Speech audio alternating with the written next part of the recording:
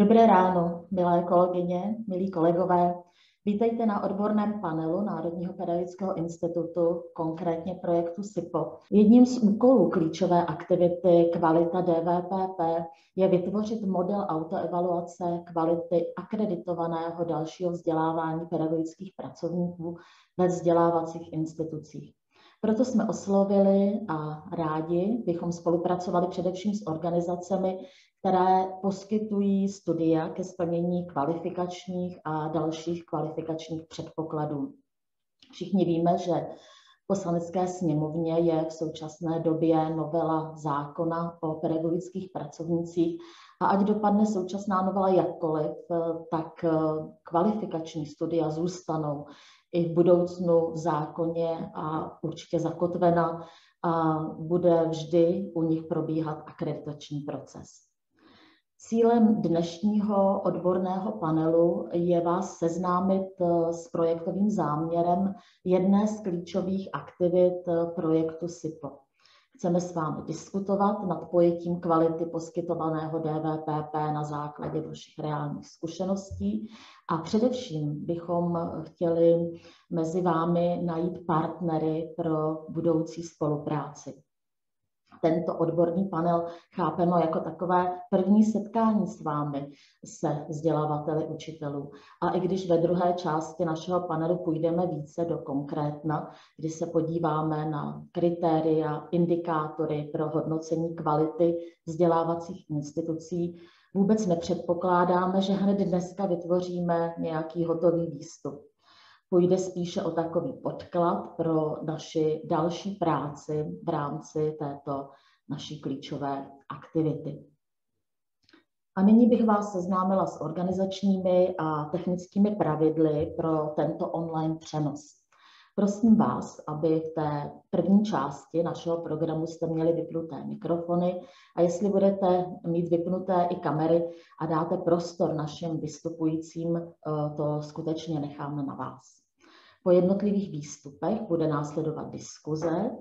Eh, pokud budete mít eh, zájem někdo diskutovat, přihlaste se prostřednictvím takové té žluté ručičky nebo pacičky. Všichni víme určitě, o co jde.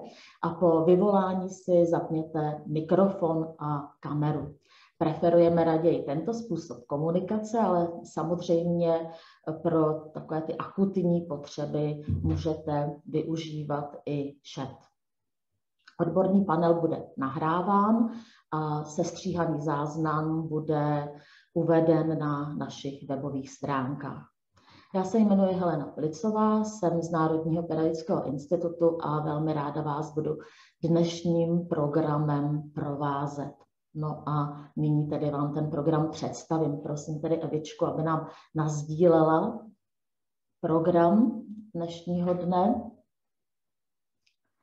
Tak program našeho setkání má dvě části. Eh, tu první část můžeme chápat jako takový exkurs do minulosti. Co se již v této oblasti udělalo, eh, že vlastně vůbec nezačínáme na zelené louce. Určitě to není nové téma. A v této první části nás o tom přesvědčí i naši hosté ve svých příspěvcích. Odpoledne eh, budou probíhat praktické interaktivní workshopy ke kritériím kvality, kvality DVPP, kde se budete moci zapojit i vy. Budeme velmi rádi za vaši aktivní účast, za vaše názory, postřehy.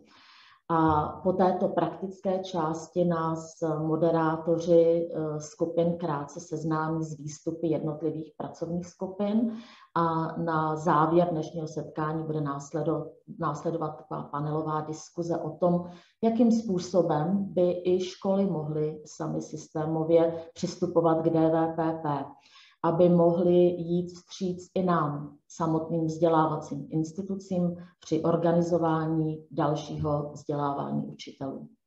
Evičko, prosím vypnout sdílení programu. No a my se vlastně nacházíme stále v úvodu našeho, pan, našeho panelu kdy bychom vás, bychom vás rádi seznámili s klíčovou aktivitou projektu SIPO Kvalita DVPP, kde se eh, mimo jiné také snažíme o nastavení systému hodnocení kvality dalšího vzdělávání pedagogických pracovníků ve vzdělávacích institucích. A k tomu budeme potřebovat vás, vaši spolupráci, spolupráci se zkušenými partnery v této oblasti. A moc bychom si přáli, aby se nám to podařilo. A asi nejvíc by si to přála eh, naše manažerka klíčové aktivity kvalita DVPP Monika Šimonová, kterou tedy, tedy přidávám slovo, aby vám představila, eh, co tedy plánujeme projektu. Děkuji za slovo. Nazdílím obrazovku, dejte mi prosím vteřinku. Vážení kolegové, vážené kolegyně, s naprostou většinou z vás jsem mluvila osobně při oslovování a domluvání vaší účasti na dnešním panelu. Děkuji vám za vaši vstřícnost při naší vzájemné komunikaci. Vnímala jsem, že toto téma je pro vás zajímavé a že se o něm chcete dozvědět více. Nevím, zda se nám podaří naplnit všechna vaše očekávání, se kterými jste dnes tady, ale budeme se o to velmi snažit. Ráda bych vám představila koncept klíčové aktivity SIPO, která je pojmenovaná jako KA05 Kvalita DVPP. Tato klíčová aktivita je dosud tak trochu popelkou v tomto projektu a důvodem této situace je to, že od doby jejího plánování, schválení a následné realizace uplynulo již několik let takže vnímání tohoto tématu je jiné a legislativní, odborné či politické podmínky pro realizaci jsou odlišné, než jak tomu bylo zhruba před pěti lety. Z tohoto důvodu jsme nemohli tvořit původně naplánované výstupy, ale museli jsme nejprve zahájit intenzivní komunikaci s ministerstvem školství a jednat o žádoucích změnách v nastavení této klíčové aktivity. Hledali jsme společně cesty, jak to téma kvalita DVPP uchopit, ale zároveň i dodržet projektová finanční pravidla. Dnes vám ukážeme podobu, které jsme se shodli teprve nedávno a čeká nás ještě formální procedura schválení této klíčové aktivity. Jinými slovy, chci říci, že dnes se budeme bavit o věcech, které se momentálně nacházejí v procesu schvalování. A nevím, zda ve výsledku budou tyto věci stejné stoprocentně tak, jak je vám dnes představíme, nebo zdali se budou mírně lišit. A teď už pojďme ke klíčové aktivitě. Téma kvality DVPP bychom rádi rozpracovali v aktivitě směrem z hora i ze spodu. Co to znamená? Směr z hora je řešení kvality DVPP na úrovni ministerstva školství, a to zejména odboru řízení a podpory regionálního školství. Důležitou roli v hodnocení kvality v realizační části DVPP vidíme i v činnostech akreditační komise MŠMT. Náš návrh pokračuje přes pohled kvalitu v samotných vzdělávacích institucích, a směr ze spodu vnímáme jako otázku, co pro kvalitu DVPP mohou udělat samotní klienti, klienti tedy, tedy ředitelé škol a učitelé. První a druhou oblast vám blíže vysvětlím v následující prezentaci, ale ten třetí směr ze spodu, ze škol, eh, vám nyní teď nebudu vysvětlovat blíže, protože ho budeme podrobněji rozebírat samostatně v odpolední panelové diskuzi. Zde vidíte celkový cíl naší klíčové aktivity. A to systémově podpořit kvalitu DVPP prostřednictvím parametrů pro hodnocení akreditovaného DVPP pro ministerstvo školství, prostřednictvím parametrů pro autoevaluaci ve vzdělávacích institucích poskytující akreditované DVPP a prostřednictvím výtěžnosti DVPP pro uh, ředitele škol a učitele.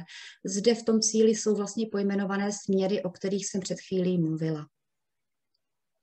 Pojďme se prosím podívat na pohled ze zhora.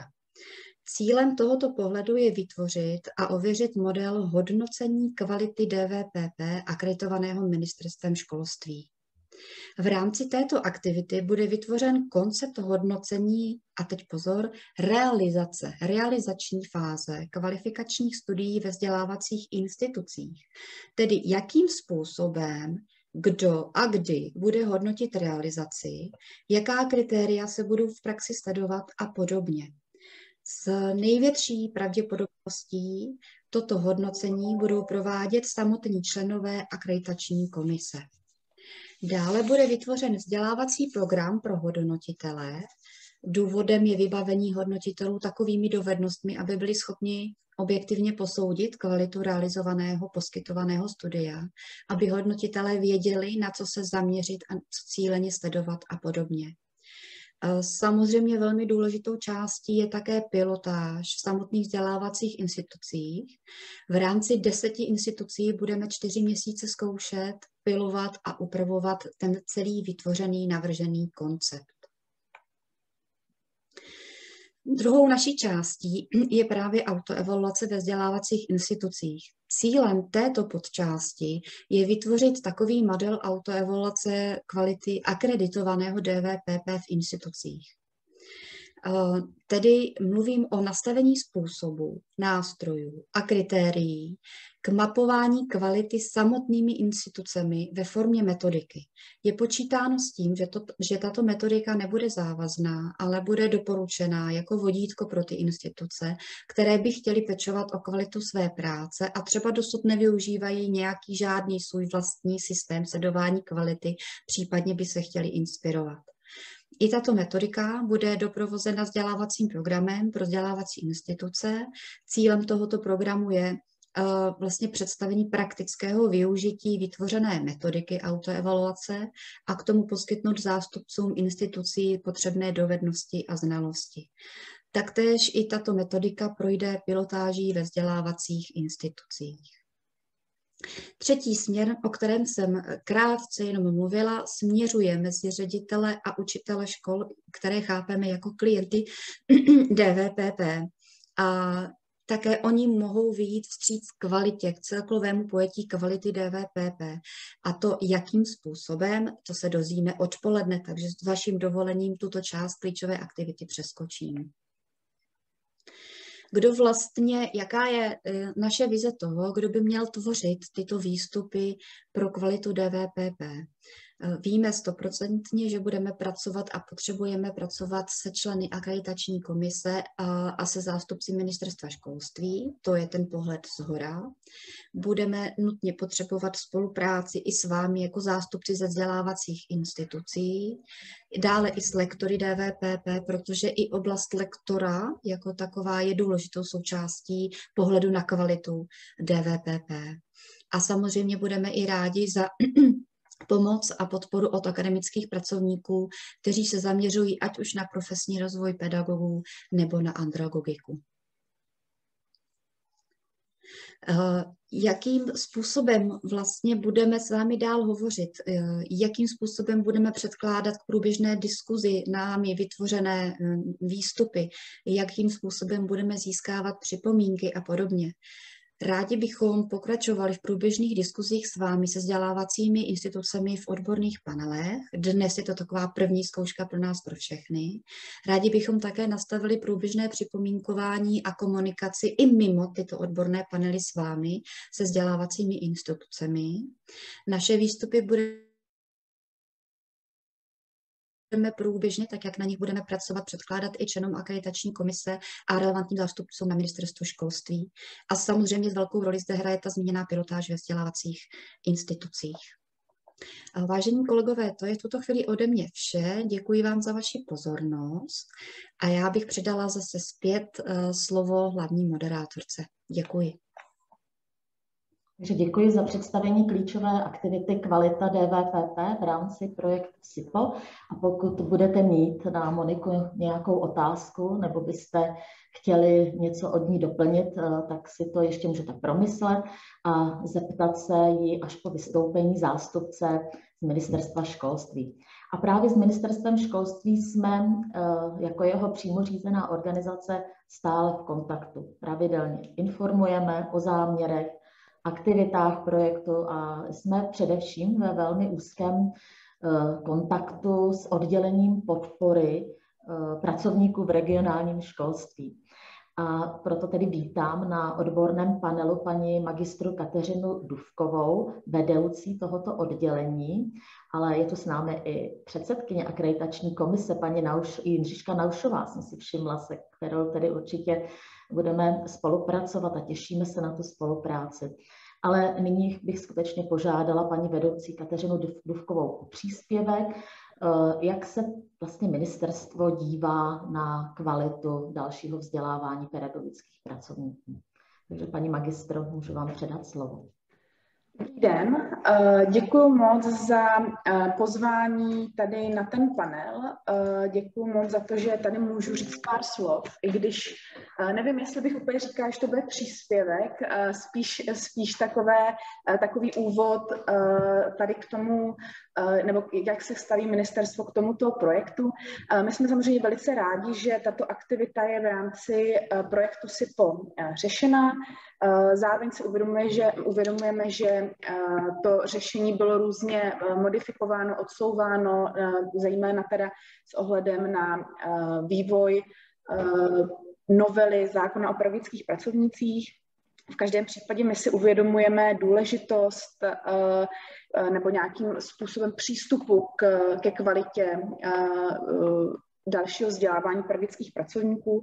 V tuto chvíli uh, z naší strany ta kontrola nebo, nebo ten, to nastavování pravidel je z velké části vlastně tvořeno s vstupem, to znamená při akreditaci těchto programů.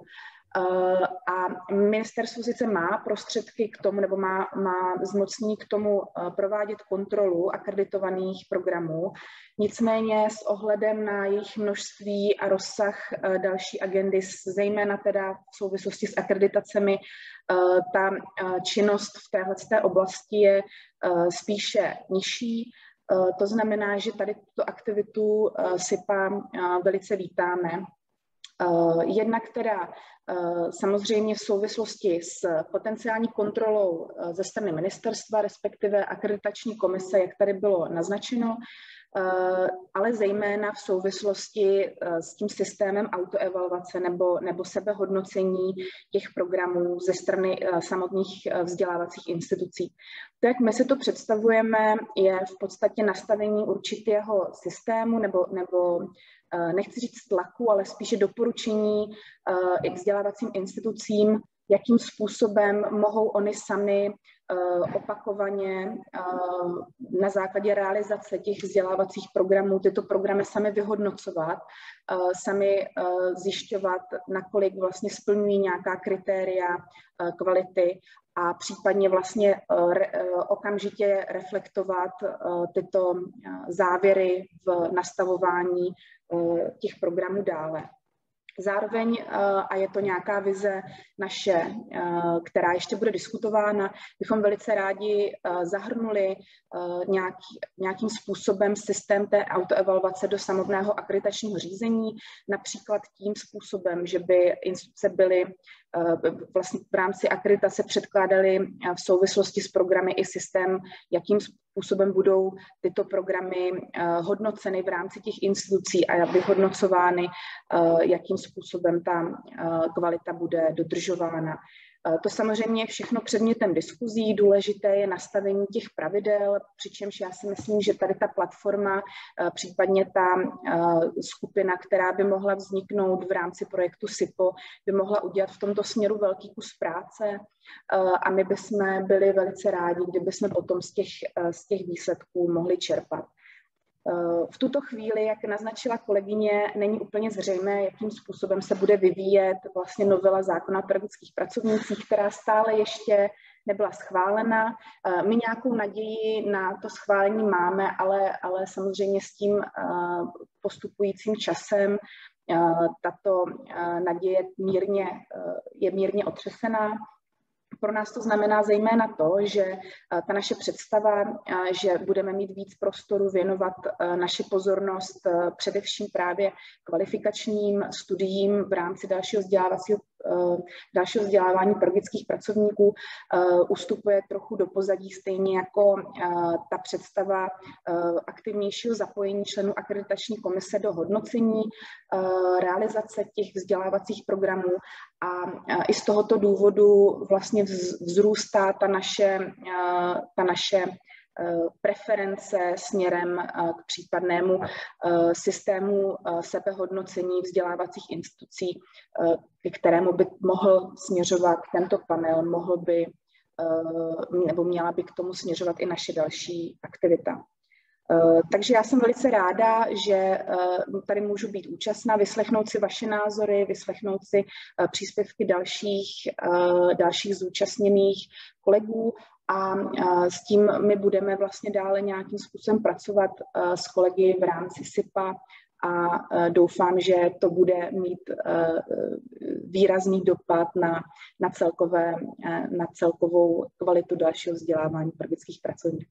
Teď to by asi bylo za mě všechno. Já děkuji moc tady za příležitost promluvit a budu se teda těšit, co se dozvím zase na oplátku já od vás.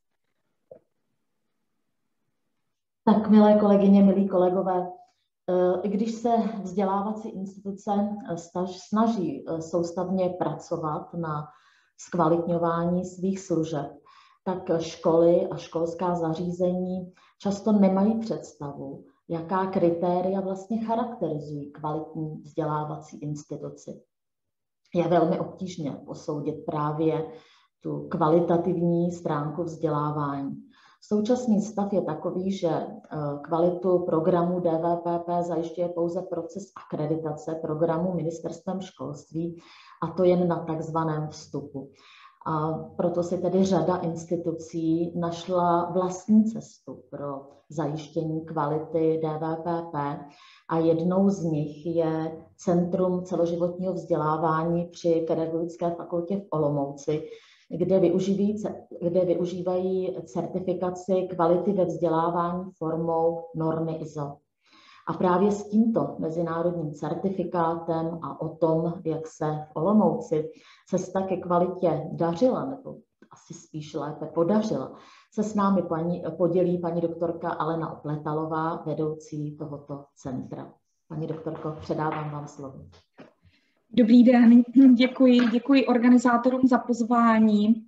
Dovolím si tedy sdílet eh, své zkušenosti eh, z pracoviště Centra celoživotního vzdělávání Pedagogické fakulty Univerzity Palackého v Olomouci, eh, kde vlastně využíváme jako jeden, jednu z možností řízení kvality eh, vzdělávací instituce při poskytování dalšího vzdělávání pedagogických pracovníků právě eh, certifikaci prostřednictvím ISO normy 9001, kterou implementujeme v rámci našeho pracoviště už od roku 2012 a každoročně procházíme externím auditem od společnosti PIF která je, poskyt, která je vlastně uh, třetí stranou, která uh, tu kvalitu vlastně nám ověřuje a následně vydává certifikát právě o této kvalitě. Co se týká jenom krátce představení pracoviště, jenom si ještě dívám z hlediska sdílení obrazovky, jestli vše vidíte v pořádku, jenom jestli můžu poprosit paní kolegyni Plicovou o zpětnou vazbu. Jestli je vidět prezentace, prosím, můžu jenom poprosit. Ano, vše je vidět. Ano, děkuji. Tak eh, jenom v krátkosti tedy, o čem bude můj příspěvek. Hm, byla jsem požádána představit tedy tyto zkušenosti eh, s certifikací prostřednictvím ISO normy 9001. Je to samozřejmě certifikace, která je více typická pro firemní prostředí, ne vzdělávacích institucí, zejména firem, které se zabývají podnikatelskou či ziskovou činností. Je to pro ně důležitý projev ve vztahu k zákazníkům. Jelikož právě v době, kdy jsme uvažovali o nějakém zavedení systému kvality, neexistoval právě nějaký certifikační systém, který třeba bude právě výstupem tohoto odborného panelu SIPA a dále implementován. A přesně, jak říkala paní kolegyně Plicová, vlastně ve školství máme možnost pouze akreditací Ministerstva školství, mládeže, tělovýchovy u programu DVPP, které eh, tu kvalitu vlastně zjišťují pouze na vstupu, tak eh, předpokládám, že většina vzdělávacích zařízení, tak jak jste tady s námi eh, účastní, si stejně sami děláte také nějakou zpětnou vazbu a hodnotíte, evaluujete, řešíte nějakou autoevaluaci své vlastní instituce. Stejně tak jsme řešili i my, ale pořád nám to přišlo takové nesystémové a samozřejmě bez nějaké té výstupní, výstupního certifikátu, který by osvědčoval veřejnosti nějakou kvalitu té instituce a byl všeobecně znám u veřejnosti. Těch certifikačních systémů je několik, není to právě jenom ta ISO norma, 9001 jsou i specializované agentury, které řeší certifikaci vzdělávacích přímo institucí ale většinou na komerčním principu. A když jsem se třeba sama dívala, eh, kdo eh, právě prošel tou certifikací a které ty instituce jsou takto akreditovány u nějakých soukromých eh, agentur, které tu certifikaci nabízejí nebo poskytují, tak si dovolím říci, že to byly třeba instituce, kde jsme se asi úplně ani nechtěli zapojit a nechtěli být takzvaně v tomto rangu nějak hodnoceni jako veřejná vysoká škola. Byly to opravdu všechno soukromé instituce, tím neříkám, že s nižší kvalitou, to určitě ne, nicméně eh, nebylo to oborově příbuzné s námi. Ehm, z hlediska tedy možností, které jsme využili a nechám posoudit na vás, budu s vámi sdílet nějaké své osobní poznatky i z přínosu té certifikace, kterou tedy každoročně procházíme jako, mm, jako instituce DVPP a potom vyhodnoťte případně sami. Myslím si, že je tam spousta prvků, kterými se může právě inspirovat eh, zavádění systému kvality v rámci DVPP eh, a eh, nás tedy čekalo hlavně prvním krokem eh, vše aplikovat z toho firmního prostředí do toho neziskového sektoru, konkrétně tedy vzdělávací instituce. Eh, samotné Centrum celoživotního vzdělávání eh, pedagogické fakulty vlastně eh, je, myslím si, eh, institucí, která má široký záběr v rámci poskytování dalšího vzdělávání pedagogických pracovníků. Nabízíme v rámci Univerzity Palackého pedagogické fakulty eh, vzdělávací aktivity, myslím si, mm, velmi širokého spektra. Objímáme vlastně vyhlášku zatím ještě tedy platnou 317 z roku 2005 o dalším vzdělávání pedagogických pracovníků v plné šíři to znamená poskytujeme vzdělávání od paragrafu 2 studia pedagogiky přes rozšiřující studia paragraf 6 i Ačko, Pčko. Myslím si, že v objemu třeba tak 10-15 programů v každém. To znamená, můžou, mohou si u nás učitelé rozšířit svoji stávající kvalifikaci o různorodé další předměty, které nabízíme. Musím říci, že i z pohledu třeba právě zmíněné novely zákona o pedagogických pracovnicích si troufám říci, a několikrát jsme tu informaci zveřejňovali, že ta nabídka prostě to vzdělávání dostupná je. A také si troufám říci, že z řad veřejnosti a i u tak, takzvaně, jak se hovoří v dnešní době hodně odborníků z praxe, tak eh, mají zájem o další vzdělávání a vidíme, rozšiř, eh, vidíme nárůst počtu uchazečů o vzdělávání, prostřednictvím dalšího vzdělávání pedagogických pracovníků, ať už to v oblasti právě rozšíření odborné kvalifikace, ale také v oblasti doplnění si takzvané DPS nebo doplňujícího pedagogického studia.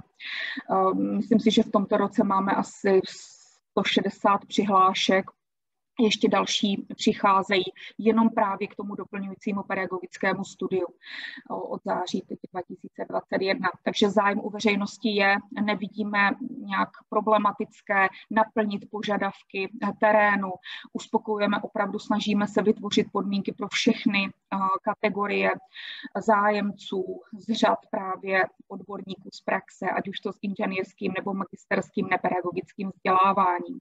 vzděláním. Ehm, co se týká tedy eh, našeho pracoviště, eh, zabýváme se ale také velmi široce i nabídkou ehm, klasického DVPP eh, v rámci průběžného vzdělávání paragrafu 10, zejména tedy v uplynulé době v reakci na šablony a mm, kdybych měla hovořit jenom o tom objemu, ať máte představu o pracovišti, jestli potom případné dotazy, jestli se na to vyplatí ta certifikace ISO nebo ne, tak chci nejprve říci, že opravdu se jedná o pracoviště, které v tom objemu ročním vlastně poskytuje další vzdělávání pedagogickým pracovníkům v tom objemu rok 2019 byl opravdu období takové hojnosti, jak se říká, boomu, nejenom v tom školství a vzdělávání. Bylo to asi 3700 účastníků za rok, v různých asi kolem 200 vzdělávacích aktivit v tomto objemu. Rok 2020 všichni víme, že byl trošku jiný z pohledu zejména formy vzdělávání, kdy jsme tedy minulý rok v Dubnu veškeré programy a myslím si, že s velkou střícností ministerstva školství, kdy ty informace eh, byly dostupné, eh, tak říkajíc téměř hned, eh, mohli přejít na tu online formu vzdělávání, formu webinářů, kdy vlastně dá se říct, že asi 90% té nabídky, když pominu nějaké praktické nácvikové kurzy, tak se dali převést do té online podoby webinářové a v tom roce 2020 jsme měli 3400 účastníků. Takže si troufám říct, že ten rok byl téměř celý covidový a byli jsme tedy odkázáni pouze na online vzdělávání, samozřejmě s, v reakci na podmínky, které vyhlašuje na webových stránkách Ministerstvo školství, za jakých můžeme přecházet do online formy a v této formě tedy to bylo zhruba těch 3400 eh, účastníků, takže z těch 3700 si troufám říct, že jsme zůstali v nějaké podobném objemu realizace vzdělávacích aktivit a opět zase 180 kurzů programu dalšího vzdělávání. Takže ten objem už si vyžaduje opravdu nějaké procesní nastavení. A, a už jakoby zabývat se tedy v rámci té cesty ke kvalitě nějakým systémovějším řešením i z pohledu pracovníků, kteří se tím zabývají. Už zde není prostor na nějaké nahodilé ad hoc řešení formou poskytování vzdělávání, ale opravdu ty procesy musí být zajištěny komplexně, ukotveny a myslím si, že potom i u případných účastníků to může nebo mělo by vzbuzovat určitou kvalitu realizace vzdělávání. Na prezentaci v tom pravém horním rohu si prosím případně povšimněte loga organizace PIF, která vlastně nám provádí externí audit podle ISO normy 9001. Je to jeden z prvků, který vlastně my můžeme díky té certifikaci používat na všech našich dokumentech samozřejmě elektronických webových stránkách a podobně. Takže to je potom jedna taková z přidaných hodnot, eh, že vlastně to známá eh, certifikační eh, společnost, organizace, kde ty certifikáty vlastně pod tímto logem používáme. Tak, dovolte mi tedy krátce jenom představit jednou jedním slajdem, co je vlastně ISO norma 9001, podle které vlastně ta celá certifikace ISO vlastně probíhá. Je to vlastně systém řízení kvality, který je nejvyhledávanější normou pro kvalitu a řízení jakosti ve světě. Dala jsem jenom pár takových informací obecných. I proto jsme si ji vlastně vybrali a říkali jsme si, že opravdu, když už tady nějakou cestou se vydáme nestandardní, tak aby to bylo cestou opravdu uznávanou mezinárodně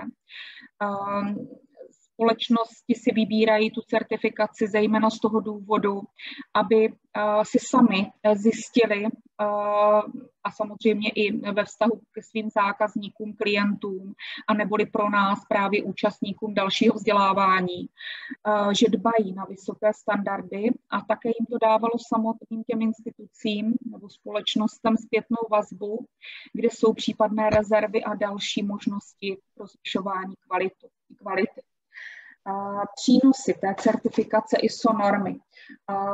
Certifikace prokazuje schopnost organizace naplňovat očekávání zákazníků neboli právě účastníků, ale také je překračovat. Mnoho jak se říká ve firmě, asi podnikových ehm, nákupčích, obchodníků, maloobchodníků, to znamená partnerů, vyžaduje, aby jejich dodavatelé měli certifikaci ISO normy 9001. A to zejména kvůli minimalizaci rizika, nákupu špatného produktu, špatné služby. Takže je to nějaké osvědčení, že ta instituce opravdu postupuje podle zavedených principů a zvyšuje si tak svůj nějaký potenciál na trhu, v našem případě na trhu vzdělávání. Co se týká tedy společnosti TIF, kterou jsme si vybrali v rámci toho českého zastoupení, tak je předním poskytovatelem právě řešení pro certifikace systému řízení kvality po celém světě a vydává desítky tisíc certifikátů právě řízení kvality firmám, podnikům všech velikostí. V těch prvopočátcích musím říct, že pro ně bylo trochu nezvyklé pracovat s námi jako neziskovou a vzdělávací institucí, že nejsme typickou firmou z toho firmního prostředí soukromého sektoru, ale o to více to bylo, byla výzva pro nás, že jsme vlastně aplikovali veškeré eh, procesy eh, na tady tento model. A možná sami vyhodnotíte, že v některých situacích je to pro nás třeba zbytečné, ale eh, já spíše právě cítím, že jsme právě v tom soukromém, nebo jsme eh, na tom vzděla, v tom vzdělávacím trhu právě institucí, která funguje na principu nabídky a poptávky, to znamená tržního prostředí. I když nějaké certifikační systémy třeba oficiální v tom školství přímo zatím tady nejsou, tak si troufám říct, eh, že naši klienté, zejména tedy pedagogičtí pracovníci, učitelé, potažmo, někdo třeba řekne, že už samotná univerzita Palackého nebo prostě značka školy, fakulty, univerzity je nějakým impulsem kvality. Proč tedy ještě nějakou ISO normu?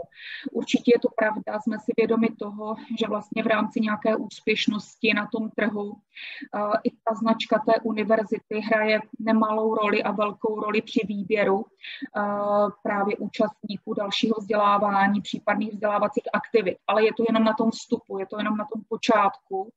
Eh, ale jakmile přijdou na kurz, který bude v některé, eh, v některém oblasti pro ně eh, nevyužitelný, nebude dostatečně prakticky využitelné výstupy, nebudou spokojeni být třeba s drobnostmi v rámci organizace, tak příště nepřijdou a nezachrání nás ani ta značka Univerzity Palackého a toho jsme si vědomi. Takže samotná značka školy, eh, univerzity, fakulty opravdu je jenom takovým tím stupním razítkem. Potom už opravdu je potřeba eh, s tím pedagogickým pracovníkem, v našem případě tedy nebo obecně klientem, pracovat velmi úzce a sledovat právě zpětnou vazbu a tu autoevaluaci provádět, což předpokládám dělají si asi myslím si všechny instituce. A já vám vlastně ukážu, že v rámci té ISO certifikace právě té evaluace nebo autoevaluace a evaluace kurzů ze strany účastníků je pouze jenom jedna z mnoha částí, která vlastně k té kvalitě přispívá. Pokud vy sami byste chtěli si třeba zavést eh, certifikaci ISO, tak eh, probíhá vlastně tady tento proces v několika krocích. Tím prvním krokem je eh, že vlastně ta organizace certifikující, v našem případě TIF, eh, vyhodnotí veškerou dokumentaci a firmní záznamy. To znamená, předchází tomu opravdu zpracování evidence. Já ještě potom na dalším slajdu ukážu nějaký přehled, pokud budete chtít i na nějaký materiál se podívat, také samozřejmě můžu nazdílet eh, v krátkosti, abyste viděli ten objem. Ono potom ve finále je to opravdu jakoby velký šanon různých spisů, materiálů od revizi eh, elektrozařízení, BOZP, školení, ale samozřejmě i ty evaluace, které provádíme. Dalším krokem je audit na místě, kde vlastně společnost TIPS kontroluje zhodu našich skutečných činností s požadavky normy ISO. Takže my podle té normy zpracováváme veškerou svoji agendu. Nejdůležitějším takovým dokumentem je příručka kvality, podle které potom postupujeme. Tady, jak právě hovořila paní kolegyně z ministerstva školství o i autoevaluaci, tak mi to vlastně připomnělo podobné kroky, které v sobě ta ISO certifikace vlastně naplňuje. Ale troufám si říct, že to asi asi ve větším rozsahu, než možná bude potřebné eh, k té certifikaci, eh, ke které tady spějeme v rámci odborného panelu ISO. Třetím krokem je nějaké řešení problému. Organizace identifikuje, provede opatření k nápravě základní příčiny všech nesouladů zjištěných auditem, no až následně probíhá vydání certifikátu právě eh, se značkou ISO normy 9001. Ty kontrolní audity se opakují vždy každoročně, takže mají platnost jednoho roku. Ve zvláštních případech se mohou konat také neohlášeným způsobem. Z auditu je potom záznam, vydaný certifikát a ten proces asi si myslím, že je jasný, jak asi probíhá. A teď už bych ráda přešla právě k certifikaci ISO v našem konkrétním prostředí a zkusila se s vámi tedy podělit o nějaký přínos, který v tom celém spatřujeme. Důležité tedy je si nejprve nastudovat eh, českou státní normu ISO 9001. Já tady mám ještě uvedenou i 9001 z roku 2009, se kterou jsme vlastně začínali nejprve. Posléze od roku 2018 už jsme přecházeli na normu 9001 z roku 2016, která byla velmi odlišná, takže zase veškerá ta dokumentace byla přepracovávána nově. Ten přínos opravdu je zejména v tom zmapování těch procesů. Zjistili jsme, jestli dobře vlastně od prvopočátku, od té prvopočáteční komunikace s tím klientem, účastníkem, vlastně pracujeme podle zavedených systémů. Všichni na pracovišti jsou s nimi obeznámeni, jsou zakotveny v rámci nějakých vnitřních norem, směrnic, po případě v té naší příručce kvality. Pracovníci pravidelně procházejí právě školením, zase jsou záznamy o tom školení předmětem toho dozorového auditu. No a samotný ten proces certifikace je stvrzením, že ta organizace má tedy zavedený systém managementu kvality a pracuje podle mezinárodně uznávaných principů. Samozřejmě hodně nám napomáhá, že vlastně v rámci třeba toho univerzitního prostředí ani není možno postupovat jinak eh, v mnoha případech, eh, protože i samotná instituce podléhá auditu finančnímu. Zde vlastně se, mm, takže popsat dodržování norem ve vztahu k zákonu o finanční kontrole, kde vlastně zase naplňujeme z hlediska té poplatkové povinnosti ty vztahy se zákazníkem, že správně uzavíráme smlouvy s účastníkem dalšího vzdělávání podle občanského zákonníku, Eh, že vlastně eh, správně vyhodnocujeme z hlediska plateb. Eh, ti účastníci ví, že dodržujeme pravidla, která jsou určena právě zákonem a z hlediska nějakého postupu od objednávky přes fakturaci a tady tyto záležitosti, které mají i dané termíny, vlastně bylo automatické pro nás, takže bylo to spíš jenom takové popsání těch systémů, které máme už zavedené a nebylo to o tolik pro nás nové, že jsme museli úplně ten systém jakoby zbourat a znova postavit. Centrum celoživotního vzdělávání Pedagogické fakulty v Olomouci, jak už jsem uvedla, začalo s certifikací i podle ISO normy 9001 v roce 2012. No a poprvé tedy za ten, vždycky to bývá ex post, to znamená audituje se ten předchozí rok. Teď nás čeká v červenci právě certifikace ta roční za rok 2020. Takže v každém roce procházíme takovou tou recertifikací. Co se týká tedy eh, nějakého dalšího vývoje, eh, je to otázkou. Já už jsem v posledních letech si říkala, přece jenom je to záležitost samozřejmě i nějak finančně náročnější, udržování toho certifikátu, takže vždy je to na otázka i zdrojů financování, které k tomu máme. Tak jsem uvažovala, jestli právě do budoucna je to pořád ta cesta. Eh, trošku na tu stranu pokračovat v tom, eh, mě přesvědčilo právě účast v odborném panelu SIPO, kde jsem viděla, že vlastně se podobným směrem ubírají i tady ty tendence ministerstva školství, kdy vlastně ten certifikační proces, zejména u těch kvalifikačních eh, programů paragrafu 6.2 a podobně, eh, by měl být zakotven v nějakém takovém systému, tak jsem si říkala, tak vlastně akorát přejdeme potom z tohoto systému třeba na něco, co bude specifičtější pro ty vzdělávací instituce. Co se týká tedy toho získaného certifikátu už jsem hovořila vlastně dokladem o úspěšného absolvování celého toho procesu eh, kvality, managementu kvality. No a předmětem té certifikace použití eh, právě toho systému managementu kvality organizace v našem případě je vzdělávání, poskytování vzdělávání, vzdělávacích kurzů, poradenská a projektová činnost. Eh, tady tam vlastně na definování toho předmětu certifikace bylo naší úlohou, naší otázkou. Takže ta ISO norma vlastně ona vás jenom navádí k nějakým obecným bodům a vy vlastně aplikujete a musíte si sami vytyčit v té příručce kvality, co je vaším předmětem a cílem té certifikace. Takže tady ten tučný text to je naše pojetí a nadefinování toho předmětu certifikace. Ehm, pracujeme tedy aktuálně s normou 9001-2016 a snažíme se dále rozvíjet a vždycky ten audit recertifikační eh, většinou přichází jiný a jiný auditor, který zase vidí to naše prostředí trošku jinýma, jinýma očima z jiného úhlu pohledu a musím říct, že nám občas přináší i nějaké podněty, které my už třeba eh, z té autoevaluace nebo z toho, z toho vnitřního hodnocení kvality tolik nevidíme nebo nedokážeme posoudit. Um, ta česká státní norma vlastně je veřejně přístupná, můžete se na ní klidně podívat sami.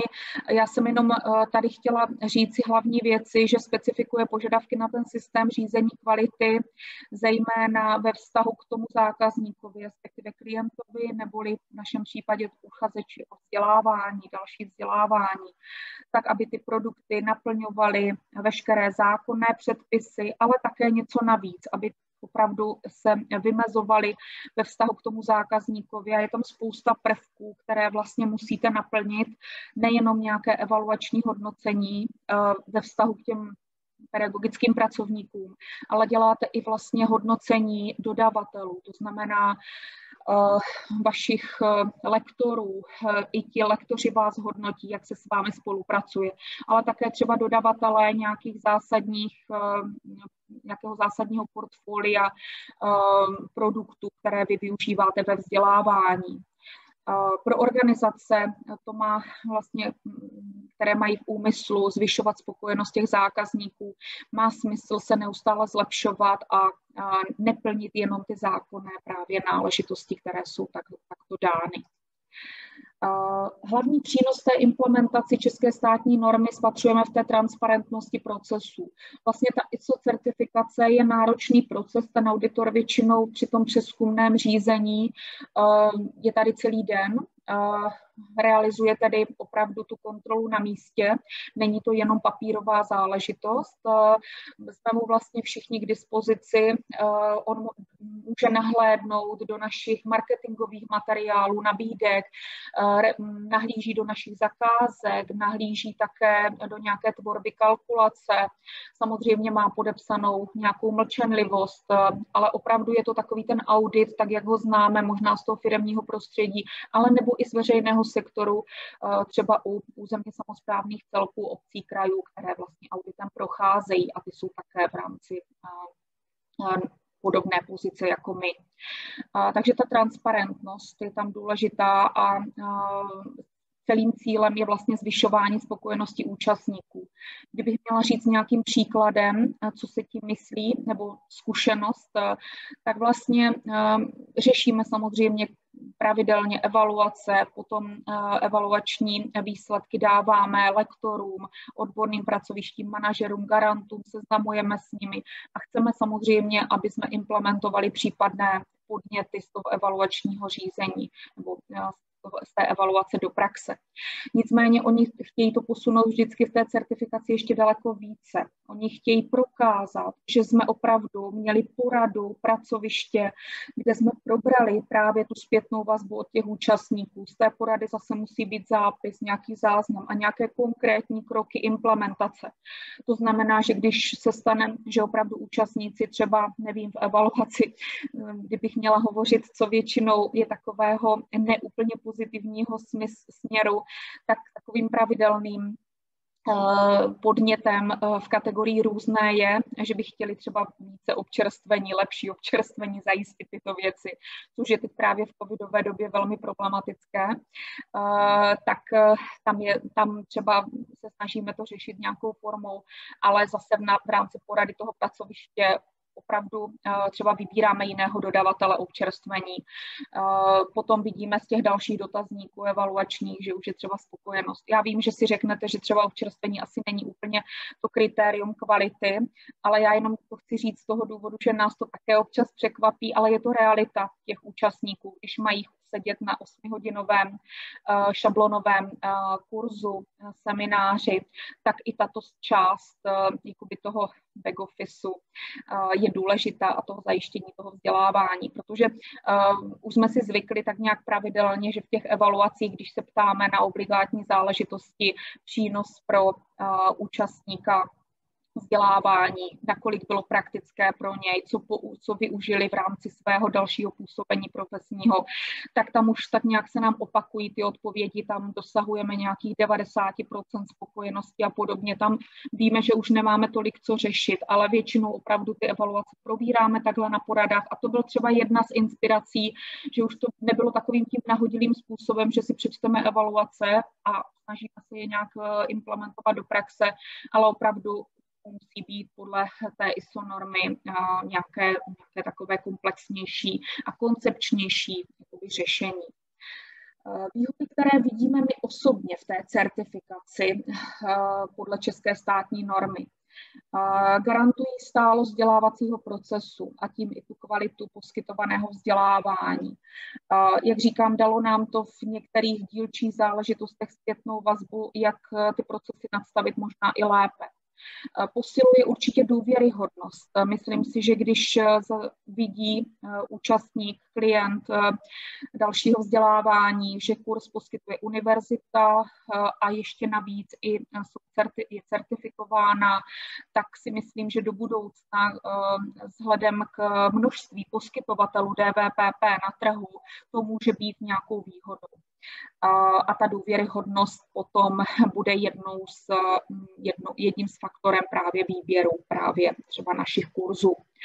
Eh, umožňuje nám také pružně reagovat na změny požadavků a potřebu účastníků, protože ten systém kvality, když naplňujete a řídíte se těmi procesy, tak vlastně vás, eh, vám umožňuje to pružné řešení potřeb účastníků z hlediska personálního, materiálního vybavení a podobně. Tyto věci se všechny dokumentují v té ISO normě, eh, takže potom ta reakce na ty změny je taková přirozená. Jednou ze změn může být právě přechod na to online vzdělávání, kde jsme byli schopni velmi rychle zareagovat na ten trh a jak už se deklarovala i v podobě toho množství účastníků, se nám to takto potvrdilo.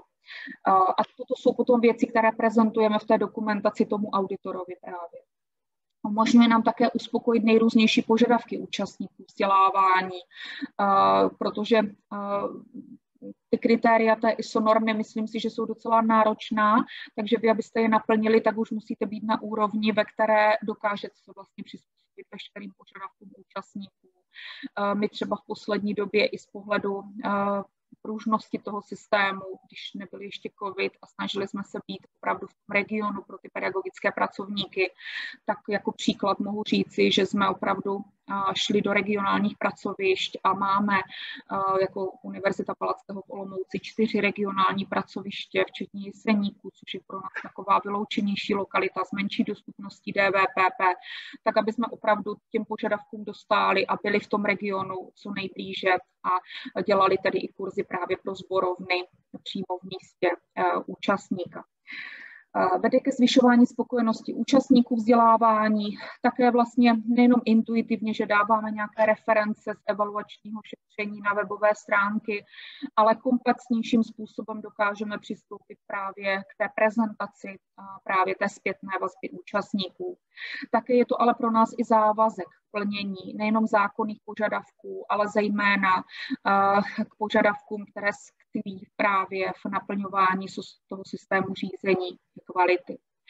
Eh, no a zvýhodňuje nás v, v rámci konkurence. Jak říkám, nemám na to nějaký větší výzkum, nakolik nás zvýhodňuje jenom značka univerzity nebo i certifikát ISO, eh, ale zase je to na nás, jak my ho prezentujeme, eh, jak my vlastně ten, ISO certifikaci zveřejňujeme na různých propagačních materiálech a dalších souvisejících možnostech. Při tom samotném auditu se klade důraz eh, na eh, tyto prvky nebo aspekty systému managementu organizace nebo řízení organizace. Zejména efektivnosti ve vztahu k dosažení cílů. Ten certifikační orgán vás nijak nevede tím systémem. Vy sami musíte, a to už vidím jako jeden prvek té autoevaluace, si nadefinovat své cíle organizace. My je máme samozřejmě v, z pohledu počtu účastníků, počtu vzdělávacích aktivit, jejich naplněnosti také, jak už jsem dokumentovala, zvyšující se trend rozšiřujících i doplňujících uh, programů. Podle vyhlášky 317 a podobně. Také e, se zde klade důraz e, právě na to ústní dotazování. E, jak jsme slyšeli v předchozím příspěvku, a já to plně chápu a respektuju, ministerstvo školství nemá tu možnost nějaké kontroly na místě a já se v tom systému pohybuju, nevím, už téměř 20 let. Zatím jsme neměli tu možnost nebo příležitost nějakého osobního kontaktu akreditační komise, ale jsem ráda, jsme v těsném kontaktu s kolegyněmi z, z ministerstva školství, ale chci říct, že tady je to prostě nutnou podmínkou té ISO certifikace, no, že je to ústní dotazování těch osob, jak říkám, ten auditor je tady opravdu celý den, projde celé pracoviště a oni opravdu řeší i takové záležitosti, které tady možná pro nás nebudou v tomto systému nějak relevantní, ale jsou to i třeba BOZP záležitosti, jsou to plány vzdělávání pracovníků, pracoviště, jsou, je to pověření interního auditora, který se pravidelně musí zúčastňovat nějakých školení, vzdělávání a podobně, takže s tím spojená opravdu jakoby i taková to možná si řeknete nadstandardní záležitost, nebo uh, musíme předložit zprávy, uh, které vlastně uh, dokumentují, že proběhla revize na pracovišti veškerých elektrozařízení, odvarných konvic přes techniku a podobně. Takže jsou tam opravdu i takové prvky, které podléhají té kontrole na místě, nejenom té dokumentační inventuře. Efektivnost postupu pro interní externí komunikaci, asi už jsem také říkala na příkladech, co je tím myšleno, ty postupy ve vztahu k interní komunikaci, aby opravdu na tom pracovišti přesně ty procesy byly zavedeny, ale i podobě směrnic. Nejenom, že každý víme, co takzvaně máme dělat, kdo se věnuje jakým programům, jakým účastníkům, v jaké fázi toho DVPP, ale vše je zakotveno i v rámci směrnic vnitřních, zejména tedy organizačního řádu.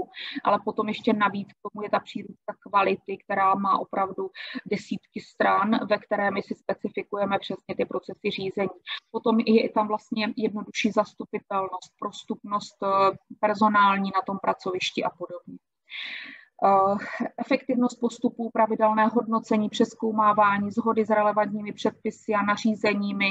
Myslím si, že v tom univerzitním prostředí pro nás tohle je automatické, ale ne pro všechny, troufám si říct, asi vzdělávací instituce, eh, které třeba hm, jsou menšího rozsahu, opravdu zde třeba pracují jeden, dva kolegové, eh, tak hm, třeba tolik se nevěnují tady právě těmto, těmto dokum, této dokumentaci.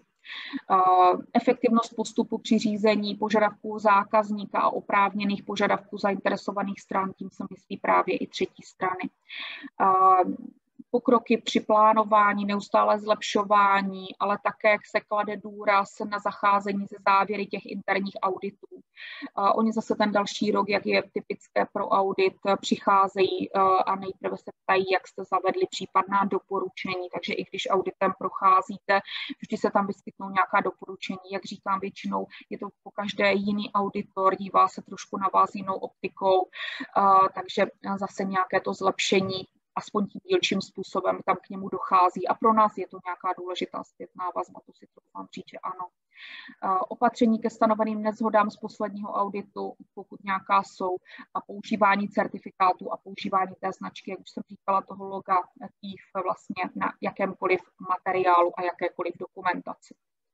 No a v neposlední řadě mi dovolte vám tedy přiblížit vlastně ty materiály, které obnáší právě kontrola ze strany certifikačního orgánu, v našem případě TIF v rámci ISO normy. Ta největší práce je tedy opravdu předtím, než vůbec ten certifikační orgán tedy přijde, co vše vlastně podléhá kontrole. Některé právě ty dokumenty jsme si trošku aplikovali pro naše prostředí, ale po nastudování ISO normy vlastně vzešly tyto dokumenty, které potom dílčím způsobem procházejí tou kontrolou, ať už to fyzickou na místě, nebo jenom v rámci té dokumentace. Já ty dokumenty, kdyby někdo se chtěl na nějaký ten dokument podívat, mám je tady při sobě v počítači, mohu samozřejmě letmo nazdílet, abyste viděli třeba objem, rozsah informací, které jsou v ní řešeny. Jenom pro tedy pro inspiraci, v čem konkrétně spočívá právě ta ISO certifikace, je organizační řád, organizační řád, který vychází samozřejmě z organizačního řádu celé univerzity, ale tímto je myšleno organizační řád už jenom našeho pracoviště. My jsme tady v rámci organizační struktury fakulty na úrovni katedry samostatného pracoviště.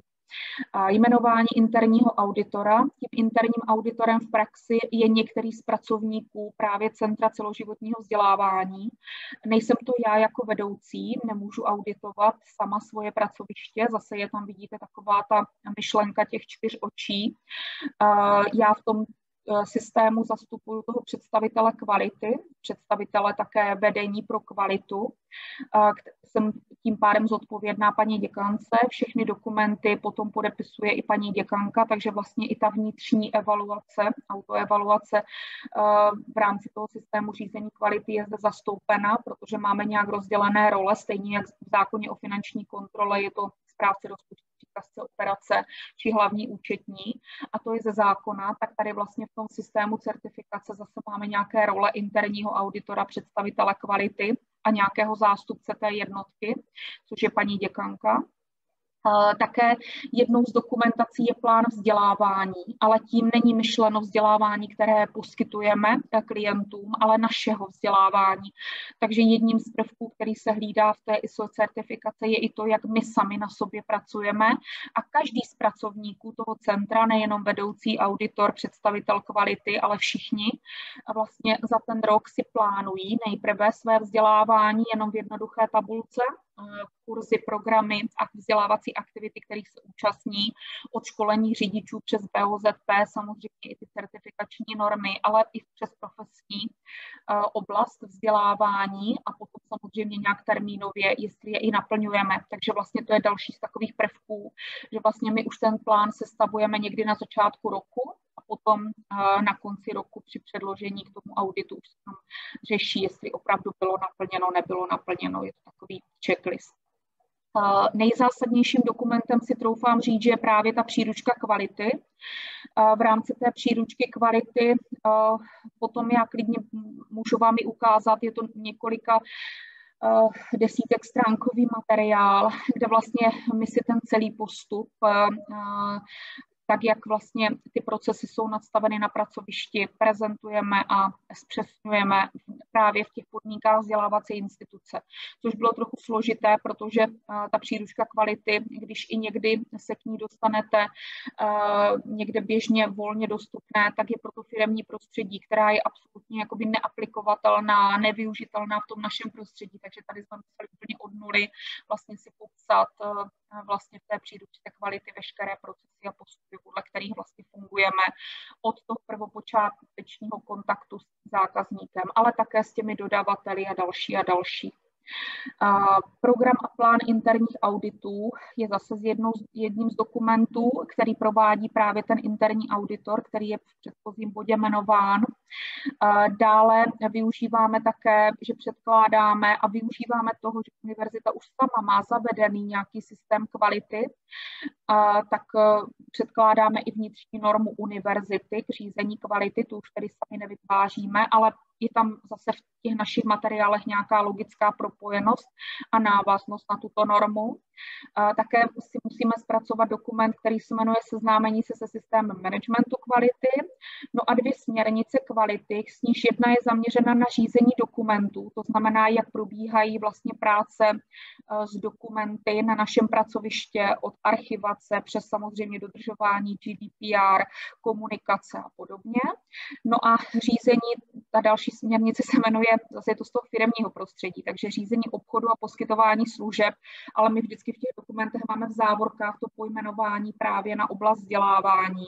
Takže tady v této směrnici je vlastně uvedeno, jak komunikujeme s klienty, tedy uchazeči o vzdělávání a na základě jakého principu se poskytují služby nebo procesů, aby přesně věděli, jak to máme nadefinováno a tím zase nějaká ta jistota a důvěryhodnost těch klientů vůči nám.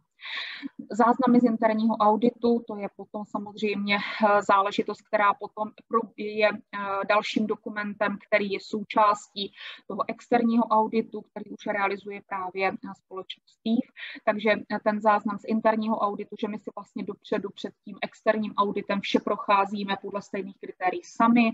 Zase je to takový třeba desetistránkový checklist, kde procházíme veškerou dokumentaci a jestli veškeré kroky, které vycházejí ze všech těch dokumentů dodržujeme. No a poslední dokument je možná asi nejzajímavější z pohledu využití právě v tom našem odborném panelu SIPO. A to je, že zpracováváme zprávu právě eh, zprávu zpracovává představitel vedení pro kvalitu a interní auditor, to znamená ty dvě osoby, které v tom systému mají velmi důležitou roli. A v té zprávě toho představitele kvality a interního auditora, tady už jenom dávám body, které se vyskytují. A ty by mohly být možná pro inspiraci zajímavé při zavedení nějakého systému kvality našeho odborného panelu SIPO možná v jiné terminologii, ale vlastně jaké jsou ta kritéria, která my sami si hodnotíme a potom vlastně předkládáme. Takže on opravdu ten eh, externí auditor ze společnosti TIF, on opravdu už potom se zaměřuje jenom na tu výstupní kontrolu, jestli my si sami všechno nadstavíme správně, sami si vytvoříme nějaký kontrolní systém a mechanismus, vše dostatečně popíšeme, zdůvodníme a on už jenom ty materiály prochází. No.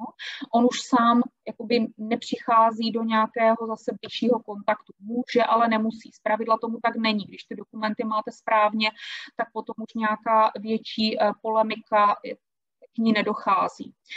Takže sami vyhotovíme si zprávu, kterou zpracovávám tedy já a kolegyně, která je interním auditorem. Zase samozřejmě je podepsána, seznámení, seznámena s ní i paní děkanka jako představitel vedení organizace.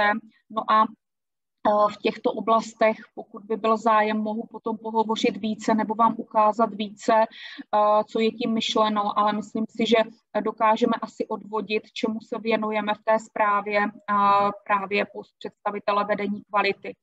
Zejména jsou tam informace o výsledku hodnocení provedené zákazníkem a dodavatelem. Tím je myšleno právě klienté, to znamená dílčí evaluační zprávy, ale takže doklada, dokladujeme uh, zprávy z evaluačního šetření, programů kurzů, uh, také zprávy, kde nás hodnotí dodavatelé, to znamená naši lektoři, ale i také dodavatelé, jak už jsem říkala, těch základních, toho základního portfolia uh, služeb, které potřebujeme ke vzdělávání, třeba partneři právě v těch regionálních pracovištích, se kterými spolupracujeme na bázi pronájmu, výukových prostor a podobně, ti nám dodávají prostory, takže tam hodnocení i právě stran těch dodavatelů z různorodého eh, oblastí to poskytování vzdělávání, informace o zhodě produktu a výkonnosti procesů, ale také informace o řízení zdrojů, to znamená i personální oblast, mimo jiné,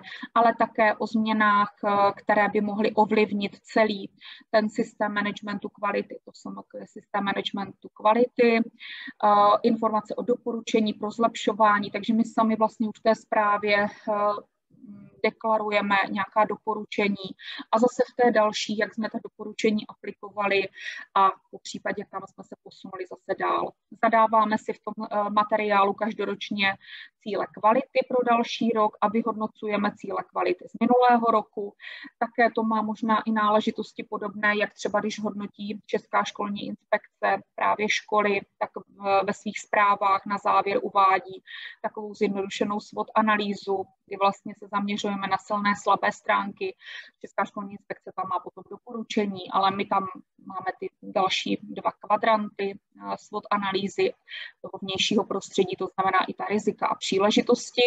Takže zase jsou to myslím si, nástroje zpětnovazební, které jsou všeobecně užívané, jenom tady jsou v rámci nějakého prostě systému komplexně propojené relevantní požadavky zainteresovaných stran, také tam nějakým způsobem zpracováváme, vyhodnocujeme a zejména je zajímá toho auditora, jak jsme se k ním postavili, jak jsme naplnili právě ty požadavky, ať už to klientů, stran uh, zákazníků nebo, uh, nebo dodavatelů. Eh, výstup z přeskoumání, ten je jakoby formální takovou součástí právě tohoto materiálu. Tak já se dívám na čas, já jsem viděla, že kolegyně začínala trošičku dříve, takže se omlouvám, ale vím, že mám nějaký čas do těch 9.50. Tak už jenom na závěr mi dovolte odkaz na politiku kvality. Nedílnou součástí vlastně toho systému je, že oni se dívají, jestli navenek zveřejňujeme právě veškeré uh, principy, podle kterých vlastně provádíme naši politiku kvality, takže zveřejňujeme na stránkách, samozřejmě webových stránkách, kde i každý eh, z uchazečů se může vlastně s těmito dokumenty seznámit. No a výstupem už jsou potom certifikáty, které jsem vám tady jenom obrázkem naskenovala eh, v české, anglické. Oni dávají asi ve čtyřech eh, mutacích jazykových, které potom zveřejňujeme zase různým způsoby a osvědčují, takže tak potom vypadá ten výsledný certifikát o dodržování systému kvality. Tak, já už na závěr, myslím si, že už jsem byla i tak dlouhá, možná tři čtvrtě hodinový monolog, byli jsme s kolegyněmi domluvené, že dotazy budou až po, po právě eh, prezentaci nějakého příspěvku právě ze zkušenostmi eh, využívání ISO certifikátu, teď už si troufnu říct asi devítileté zkušenosti. A chtěla jsem vám principiálně popsat vlastně obsah, zejména ten přínos pro nás právě v několika bodech. Většinou opravdu jsme zjistili, že spoustu eh, věcí jsme prostě realizovali buď to intuitivně, anebo ve vztahu k řízení kvality na celé univerzitě. Jsme vlastně v těch těchto systémech jakoby pracovali. Někdy nám to bývá možná i vytýkáno, že na to je univerzitě v rámci poskytování DVPP jsme možná trošku zkostnatělí nebo možná uh, více formální než některé soukromé vzdělávací instituce. S tímto také pracujeme, ale zase na druhou stranu mohu říci, že právě v tomto systému se nám to vyplácí, že jsme vlastně troufnu si říct třeba 80-90 eh, principů, které tady ISO norma vlastně deklaruje, že musíme naplnit, tak jsme zjistili, že naplňujeme, jenom jsme to dávali do nějaké formy koncepčních dokumentů.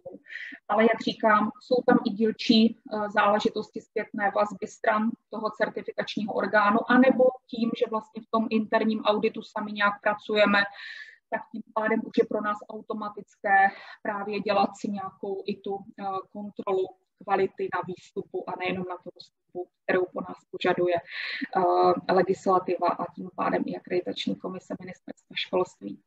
Tak já asi ukončím sdílení, abych viděla zase případně uh, vás na kamerách, paní kolegní Plicovou a případné dotazy, jestli ještě nějaký prostor máme, vím, že potom má být přestávka, tak uh, kdybyste chtěli nějaký z těch dokumentů vidět, mám je tady otevřené, není problém sdílet. Poprosím o dotazy. Děkuji za pozornost. Tak eh, děkujeme, paní doktorko, za velmi zajímavý vstup do našeho panelu. A je to vlastně jedna z možností, jak zajišťo, zajišť, zajišťovat kvalitu v eh, organizacích. Já jsem tam viděla, že někdo do chatu napsal dopa, dotaz, tak já ho přečtu. Prosím o informaci, jaká je orientační cena za udělení certifikace dle normy Ano, určitě. Děkuji. Eh, asi jsem čekala eh, tu záležitost, nedávala jsem ji do prezentace, protože přiznám se, že nevím, jestli ta cena je uh, jakoby uh, stanovena nějakým sazebníkem, uh, jakoby ve vztahu ke všem uh, případným žadatelům o ISO certifikát, protože uh, ta cena vlastně a ta cenová nabídka probíhá tak, že my vlastně uh, zašleme nějakou objednávku nebo poptávku, pardon, začíná to poptávkou služeb právě té certifikační agentury nebo organizace TIF a oni nám vlastně posílají nějakou nabídku, kterou když odsouhlasíme, tak potom teprve pokračuje ten proces objednávka faktura. A ta cena je vždy uh, deklarována na tři roky dopředu, takže máme tam i nějakou trošku vidinu, že se ta cena nebude odchylovat v nějakém aspoň kratším období, takže když do toho opravdu jdete a řeknete si spoustu práce, tak abyste si řekli, jestli za rok třeba, kdyby to to bylo enormně dražší, zase ta práce měla smysl nebo ne, takže toto je, myslím si, jeden z dobrých prvků, že máme vždycky v rámci toho materiálu de, eh, deklarovanou a eh, od nich eh, tu cenu na tři roky dopředu. A teď jsem se dívala, vlastně, protože budeme mít ten audit v červenci, takže budeme platit ten roční recertifikační audit, tak je to 14 000 korun za ten rok bez DPH. Takže vím, že nějak kolem do těch 20 tisíc korun. Není to asi, myslím, málo, nebo zhodnoťte každý sám. Já už trošku jsem říkala, jestli vůbec ty finance do toho investovat také. Také jsem zvažovala, jestli přináší nám pořád více těch výhod a přínosů, o kterých jsem tady hovořila, ale teď řeknu upřímně, je to vždy záležitost zdrojů financování. A pokud máme jiné zdroje financování než právě z řad eh, účastnických poplatků, tak ještě pořád to třeba žilo na těch vážkách toho rozhodování, že ano, jdeme do toho. Ale v posledních letech se přiznám, že už jsem eh, z hlediska i té finanční náročnosti, protože eh, ten TIF, on nám dává ty ceny stejné, jak pro soukromý sektor. Oni neřeší, že jsme neziskovka, že jsme ve školství, se pohybujeme vzdělávací instituce a podobně. Takže já budu velmi ráda, pokud bude možnost certifikovat se opravdu, ale aby to mělo smysl, ta certifikace, ne třeba ty certifikace CES a podobně, o kterých jsem mluvila na začátku, těch soukromých eh, vysokých škol a vzdělávacích institucí. Ehm, tam, tam je to spíš zase o tom, zaplatíte si ještě daleko větší částku a máte certifikát. Takže tady jsem si zase říkala, má to tu všeobecnou mezinárodní platnost. Ale jak říkám, pokud se mu podaří najít jiné zdroje financování, například projektové, tak pořád jsme do toho ještě šli. Ale neplatíme to z peněz účastníků. Jo? Jenom ať víte, není to na úkor účastnických poplatků. Tak jenom ještě. Mm-hmm. Takže děkuji za odpověď. Já možná jenom ještě krátký dotaz, protože nevidím, že by někdo se hlásil. Já se ještě dívám do chatu, ano. jestli můžu, paní doktorko. Ano. Kolik pracovníků připravovalo první audit a jak dlouho? Tak, byli to dva pracovníci, ale musím říct, že v tom prvním roce tam je ještě možnost, ale samozřejmě to zase finanční otázka, že vy si vlastně můžete pozvat pracovníka z toho TIFu, který vlastně e, vám pomůže připravit tu dokumentaci. Takže nejste na to úplně sami, a ten, ten, ta příprava na ten audit pro nás už teď, když pracujeme průběžně a ty dokumenty vlastně už potom máme předpřipravené, tak je třeba týden. Jo? Teď můžu říct, že paní kolegyně mi to posílala někdy v půlce června, já jsem z hodou okolností teď při té přípravě to měla čerstvě v hlavě, tak jsem to procházela přes víkend ty dokumenty, něco mírně ještě tam zapracujeme, ještě jsem si tady připravila taky nějaké své školení, na kterých jsem byla, aby jsme to doplnili všechno a potom ten samotný audit, jak říkám, je záležitost jednoho dne, uh, ale podílí se teď už vlastně, když už je to zaběhnutý systém, tak se na tom podílím vlastně jenom já a ten interní auditor, který potom už komunikuje jenom s těmi pracovníky dílčím způsobem, že mu pošlou plán vzdělávacích aktivit, že jdou jedn, uh, na to školení, že on jim řekne. Spíš probíráme věci, které já bych asi neodlučovala od naší jakoby um, uh, normální aktivity a činnosti, protože myslím si, že vy všichni ve vzdělávacích institucích děláte si evaluační šetření a potom máte nějaké zprávy, které z toho vypracováváte. Takže já tyto činnosti nezahrnuju do uh, jakoby procesu certifikace a přípravy ISA no, protože to jsou věci, které vlastně my už potom jenom řekneme, ano, to už jsme udělali, tady si nějakým způsobem doplníme i do ISA certifikace, protože víme, že to potřebujeme. Ale evaluační šetření, dotazníky bychom dělali i tak a stejně ty zprávy zpracovávali, takže ty tam prosím nezapočítávám. Takže opravdu je to práce tak týden. Na tom začátku to bylo náročnější, ale jak říkám, využili jsme i té externí konzultace a na základě které zase jednodenní konzultace kolegyně z toho TIFu, která zejména v době, kdy se měnila ta norma 2016, tam jsme zase museli využít, protože ten pracovník jde den na školení, den vám přijde člověk, který vlastně vám e, řekne, které ty dokumenty, jak, jaké kvalitě obsahu máte mít a potom zase týden na tom jeden pracovník pracoval. Mm-hmm. Tak paní Simonová mi vzala tu moji otázku. Dívá se auditor přímo i do průběhu realizace vzdělávacího programu, aby například hodnotil lektora nebo spíše... Může, ano, může, může, ale většinou se nám dívá jenom na materiály, které už máme, prezenční listiny. Prostě on si vybere na mátkově jednu zakázku a řeknu příklad, třeba minulý rok to byly kurzy ABA, aplikované behaviorální terapie a tam chtěl vědět prostě od A do Z vše.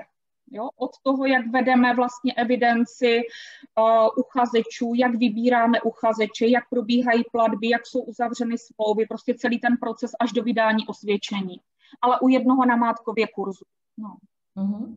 A který z prezentovaných dokumentů zásadně ovlivňuje kvalitu vzdělávání ve vašem Ano, ano, určitě. Uh, možná, jak jsem hovořila, ta příručka kvality. Ta je i nejobsáhlejší a tam vlastně my popisujeme všechny ty body, jak pracujeme se zákazníkem, jak pracujeme s dodavateli a potom z toho vychází ta zpráva mě jako představitele kvality a interního auditora, která už prakticky píšeme, jak tedy dodržujeme ty principy v té příručce kvality. A ty ostatní bych řekla, že jsou fakt jakoby doplňkové. To. A ani se moc nemění. Jak jste sami viděli, tak vlastně potom, když už to, v tom zaběhaném systému jedete, eh, tak uh, už vlastně ty dokumenty tolik nespracováváme. Máme vytvořené k tomu všechny hlavičky, podpisové záležitosti, takže tam už toho tolik není. Takže nejzásadnější je ta zpráva, vlastně je to autoevaluační zpráva, jak u ředitele školy, který dělá autoevaluaci, tak vlastně něco obdobného. Mm. Takže moc děkujeme, paní doktorko. Čeká taky, nás taky. pauza.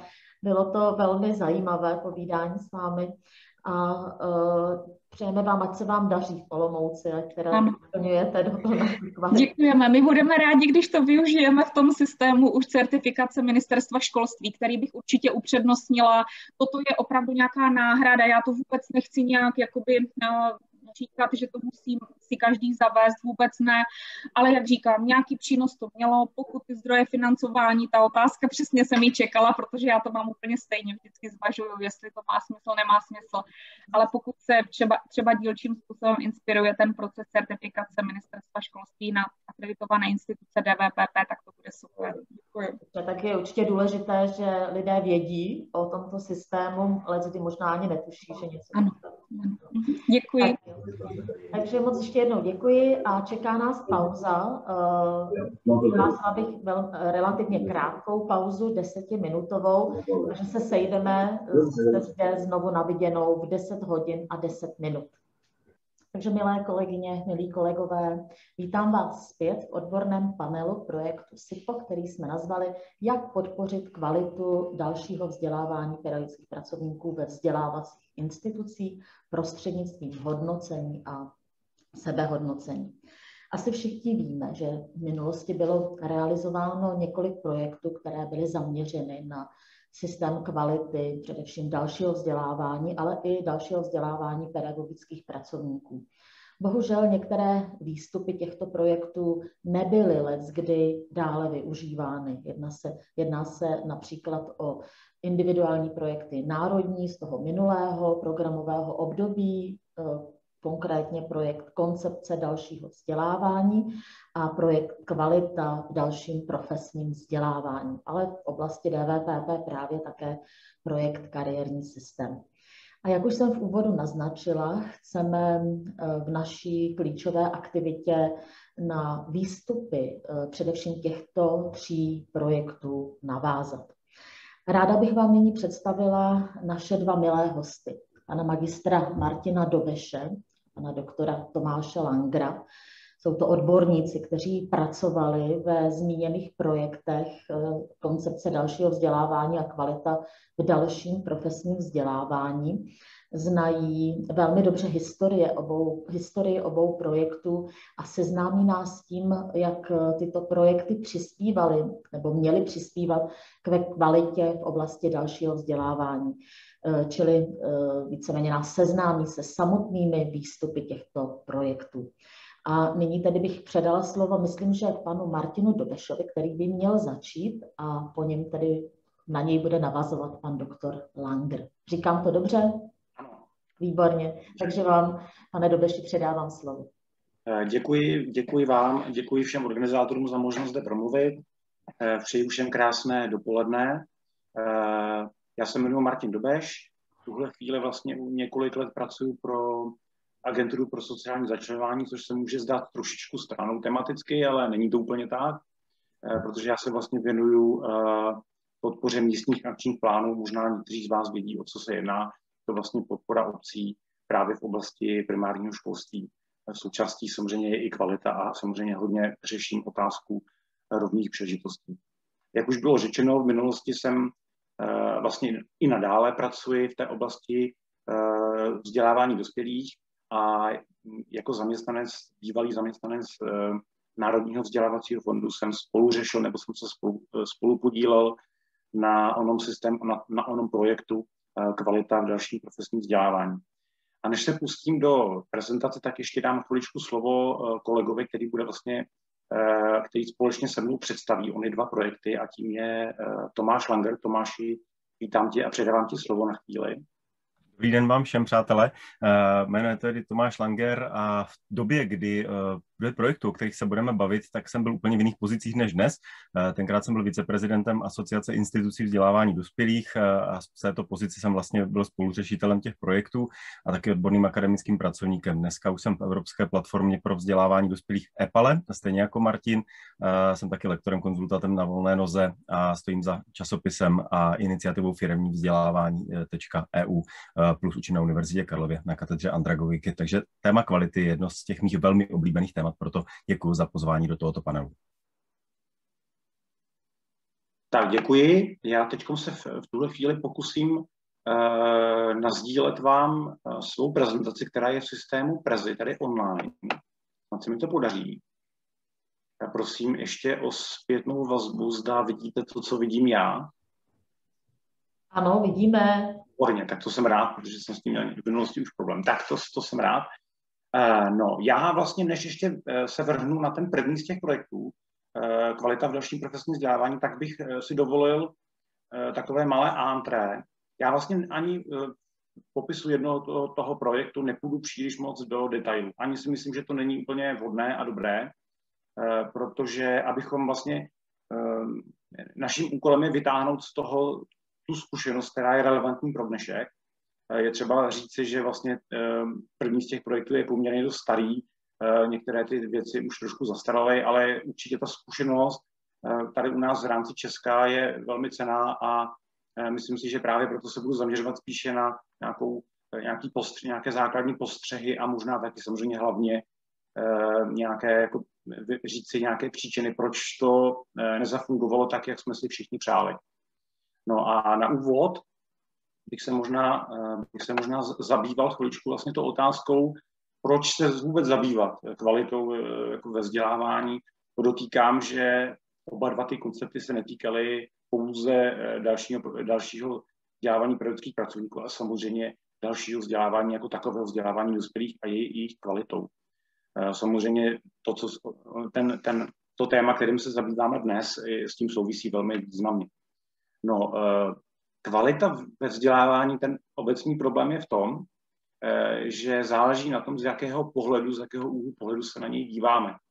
Eh, to je možná rozdíl oproti, když se tady byla tady diskuze nebo byl tady příspěvek o IZU a certifikace, certifikace obecně, to je ten rozdíl mezi zubním kartáčkem a, a vzděláváním obecně. Vzdělávání je jedna poměrně dost sofistikovanou a komplexní záležitostí a druhá Eh, při tom pohledu na kvalitu záleží, z jakého, z jakého eh, pohledu účastníka se díváte. Jo.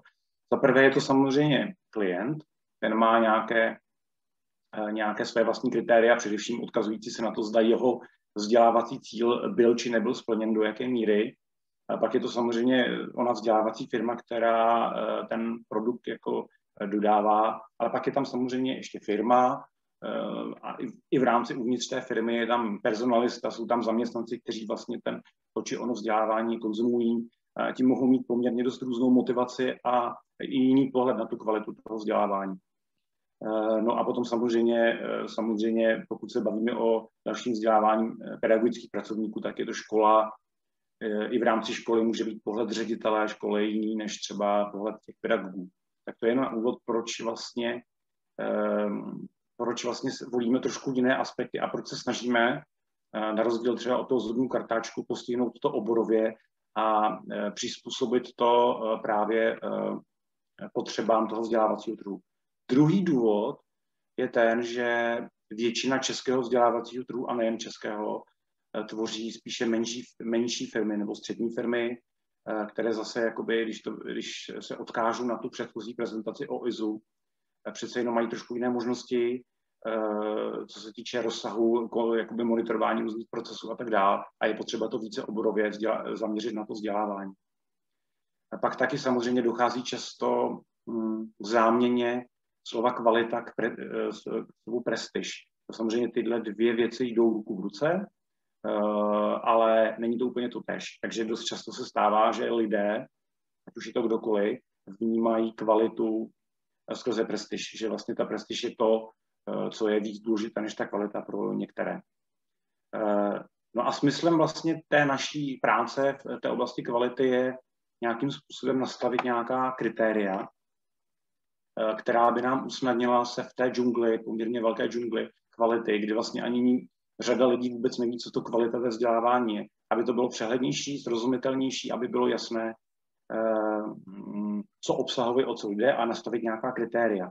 Když se podíváme z toho pohledu vzdělavatele, tedy toho dodavatele vzdělávacích služeb a zároveň z pohledu klienta, o kterém jsem už mluvil, tak vlastně to gro, eh, co, co, co většinou hodnotíme, je kvalita lektorů, kvalita procesu vzdělávání jako takového, tedy odkazují se na vzdělávací produkt, vzdělávací program a měření jeho efektivity.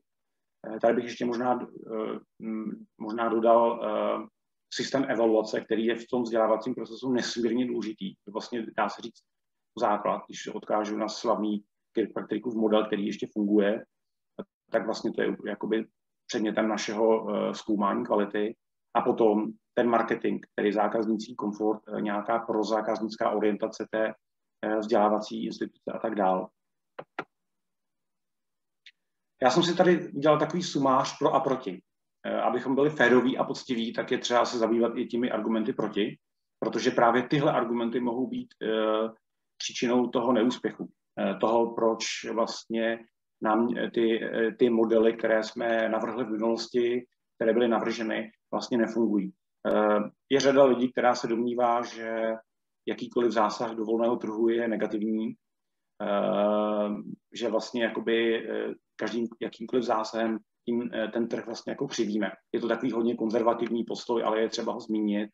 Potom je tam argument, že neexistuje žádný garant, nějaké, nějaká objektivní autorita, která by řekla, to je kvalita ve vzdělávání a to není kvalita. Je to samozřejmě, různé ty modely to řeší různě, samozřejmě máme akreditaci, máme certifikaci a tak dál. A jsou tam různé odlišnosti, o kterých ještě budu mluvit. Eh, to, to je právě to, co teď. Existence více autorit a více modelů, takže vlastně pro nás je to otázka, který ten model eh, bude fungovat v našem českém prostředí nejlépe a kdo by ho měl zastřešit, kdo by měl být jeho garantem. Potom se ukázalo jako velkým eh, demotiva, respektive argumentem proti, je je otázka motivace. O tom ještě budu mluvit v souvislosti s těma, jako oběma těma národníma projektama. Ukazuje se, že ta vstupní motivace je důležitá pro to, aby se ten systém, pokud má být nějakým způsobem zaveden, aby se uchytil. To znamená, že na vstupní čáře musí být dostatek těch hráčů, kteří ten systém e, vezmou za svůj. Pokud se tak nestane, tak to prostě může velmi rychle umřít. No a samozřejmě eh, každý systém, každý model eh, představuje nějaké náklady finanční a tak dál, i lidské náklady na jako zavedení, tak aby vlastně ten model začal fungovat, tak potřebuje nějakou dobu být velmi výrazně podporován a i vlastně i marketován, eh, tedy vlastně propagován, tak aby vlastně se o něm dozvědělo značné množství lidí. No a teď máme argumenty pro. Je to samozřejmě na prvním místě orientace v té džungli. Je to to, že nám ten systém výrazně usnadní uh, výběrová řízení v oblasti vzdělávání, a to teď nemám na mysli jenom té, řekněme, státní sféře, tedy oblasti jako škol, eh, výběr vzdělávání pro, uh, pro rozvoj pedagogických pracovníků a tak dále, ale vlastně se ten model dá poměrně snadno a efektivně aplikovat i do komerční sféry nebo do jiných sfér. Potom je to, může být, pokud se pokud se vhodně zavede, zavede tak to může být zároveň nástroj inovace. To je třeba například v oblasti e, pro vzdělávacích projektů SF, kdy tam docházelo k masovému rozšíření, ale bohužel nebyli, nebyli jsme jako, jako stát nebo národ, nebyli jsme schopni z toho vytěžit, co bychom měli, e, protože jsme příliš netlačili na, na, na stranu inovace, ale spíš na stranu masového rozšíření, což si myslím, že je, je bohužel ztracená příležitost pro nás. No, eh, jak jsem, jak jsem už zmínil, strašně záleží na tom, když, eh, koho se zeptáte, jak vnímá kvalitu v oblasti vzdělávání. Tohle to je nějaký soukromý výzkum, eh, který si dělala přímo AIVD, respektive Asociace institucí vzdělávání dospělých, že se ptali různých jako cílových skupin na to, jak vnímají kvalitu. Personalisté firm na to odpovídali takto. Pro ně byl, byly důležité předchozí reference, nějaké zkušenosti, to, jakým způsobem ta vzdělávací instituce řešila komplexnost té vzdělávací nabídky, nějaká prozákaznická orientace, vstřícnost, marketing a tak dál. A pak samozřejmě u vzdělávacích institucí, pokud jsou tady jako dostatečně kvalitní, tak se předpokládá aspoň základní znalost systému akreditace a certifikace. A mediální obraz samozřejmě je jako důležitou součástí toho, jak personalisté vnímají kvalitu. Pokud se zeptáte vzdělavatelů samotných, tak to je to, jak jsem zmiňoval, pro zákaznická orientace, pak samozřejmě důležitá je kvalita lektorů, certifikáty členství eh, různých profesních združení, jakým je například eh, AIVD, vývoj vlastních produktů, to je nějakou jakousi známkou inovace eh, ve vzdělávání, potom nějaká metodika, to je právě jako, o čem jsem mluvil, takový ten nekonečný cyklus, kdy děláte analýzu vzdělávacích potřeb, dodáváte vzdělávání a potom se vracíte vlastně prostřednictvím evaluace zpětné vazby se vracíte na začátek a ten cyklus stále pokračuje. Důležitá je i etika, to znamená nějaké, nějaké tabu, které by se v té, v té naší oblasti vzdělávání eh, neměla prostě dělat a samozřejmě reference. No a pokud se zeptáte běžného uživatele, tak tam jste už naprosté džungli, protože řada lidí eh, jako neví, eh, neumí tu kvalitu uchopit nějak jako systematicky, takže prostě řada běžných uživatelů, kteří třeba chodí do jazykových škol a tak dál, tak tady jsem si dovolil obsat tady nějaké postřehy z, tuším z Facebooku, eh, kdy hodnotili nějaké jako vzdělávací instituce no name, jo, takže to jako vidíte, to je spíš pro úsměv, eh, jak, jak se taky hodnotí vzdělávací, vzdělávání jako takové. Tady jsem si dovolil, eh, protože, jak už bylo řečeno, nejsme na začátku, bohužel, tedy vlastně, nebo spíš boudík, ale nejsme na začátku ten, to téma kvalita nebo nějaká staha, snaha států a nejenom státu, ale vlastně i různých oborových organizací, nějakým způsobem uchopit to téma kvality, zpřehlednit to. Už tady byla od 90. let. Tak já jsem si dovolil, nepůjdu příliš do hloubky, nepůjdu do detailů, nebudu mluvit o jednotlivých um, těch bodech, co tady vidíte na té časové křivce, ale jenom chci ukázat, uh, už od 90. let tady byly různé mezníky, které vidíte tady na té, na té ose časové, uh, které nějakým způsobem ovlivnily, ovlivňovaly to prostředí, na to téma kvality u nás. Jo, takže začalo to někdy v roce 94, eh, když, když vzniklo, vznikla uh, certifikace Q4 nebo vlastně hodnocení kvality Q4 v rámci projektu Leonardo. Uh, potom to pokračovalo přes právě ten uh, projekt Kvalita v dalších profesních vzdělávání, to je to EduIQ quiz, o kterém budu za chvíličku mluvit. Um, a IVD měla, nebo a má vlastní, vlastní systém hodnocení, má svoje desatero, Eh, které taky se nějakým způsobem rozšířilo mezi aspoň minimálně členy teda AIVD. Pak byl tady koncept, pak byl uh, systémový projekt koncept, nebo koncepce dalšího vzdělávání, o kterém bude mluvit kolega Tomáš. A v, v rámci onoho projektu vznikl tež uh, kvalifikační standard lektora dalšího vzdělávání, který funguje do dneška úspěšně poměrně. No a já jsem si tady nakonec dal uh, právě tento projekt, který vlastně kvalita v dalším Eh, vzdělávání pedagogických pracovníků, který má též ambice a uvidíme, jak se s tím popasuje. Jsem velmi zvědav. Má ambice tu, tuhle oblast řešit, tedy minimálně pro oblast uh, tu pedagogickou. Takže suma sumárum uh, byla tady řada pokusů, uh, které si měly tyhle ty poměrně vysoké ambice, ale nutno říci, že až na právě ty jmenované vlastně se nepodařilo nepodařilo se, že by jako nějaká certifikace byla úspěšná a že by za, zakořeněla v nějakém jako širším spektru vzdělávacích institucí. No a já už teď volně přejdu, vlastně eh, k tomu prvnímu projektu a tím je kvalita v dalším profesním vzdělávání. Jak jsem řekl, je to už poměrně starý projekt, eh, realizoval se v letech 2007 až 2008, tedy 1,5 roku a realizoval se v konzorciu Eh, Národní vzdělávací fond, eh, Bankovní institut, Vysoká škola, eh, poradenská firma KPMG a právě asociace, asociace institucí vzdělávání dospělých.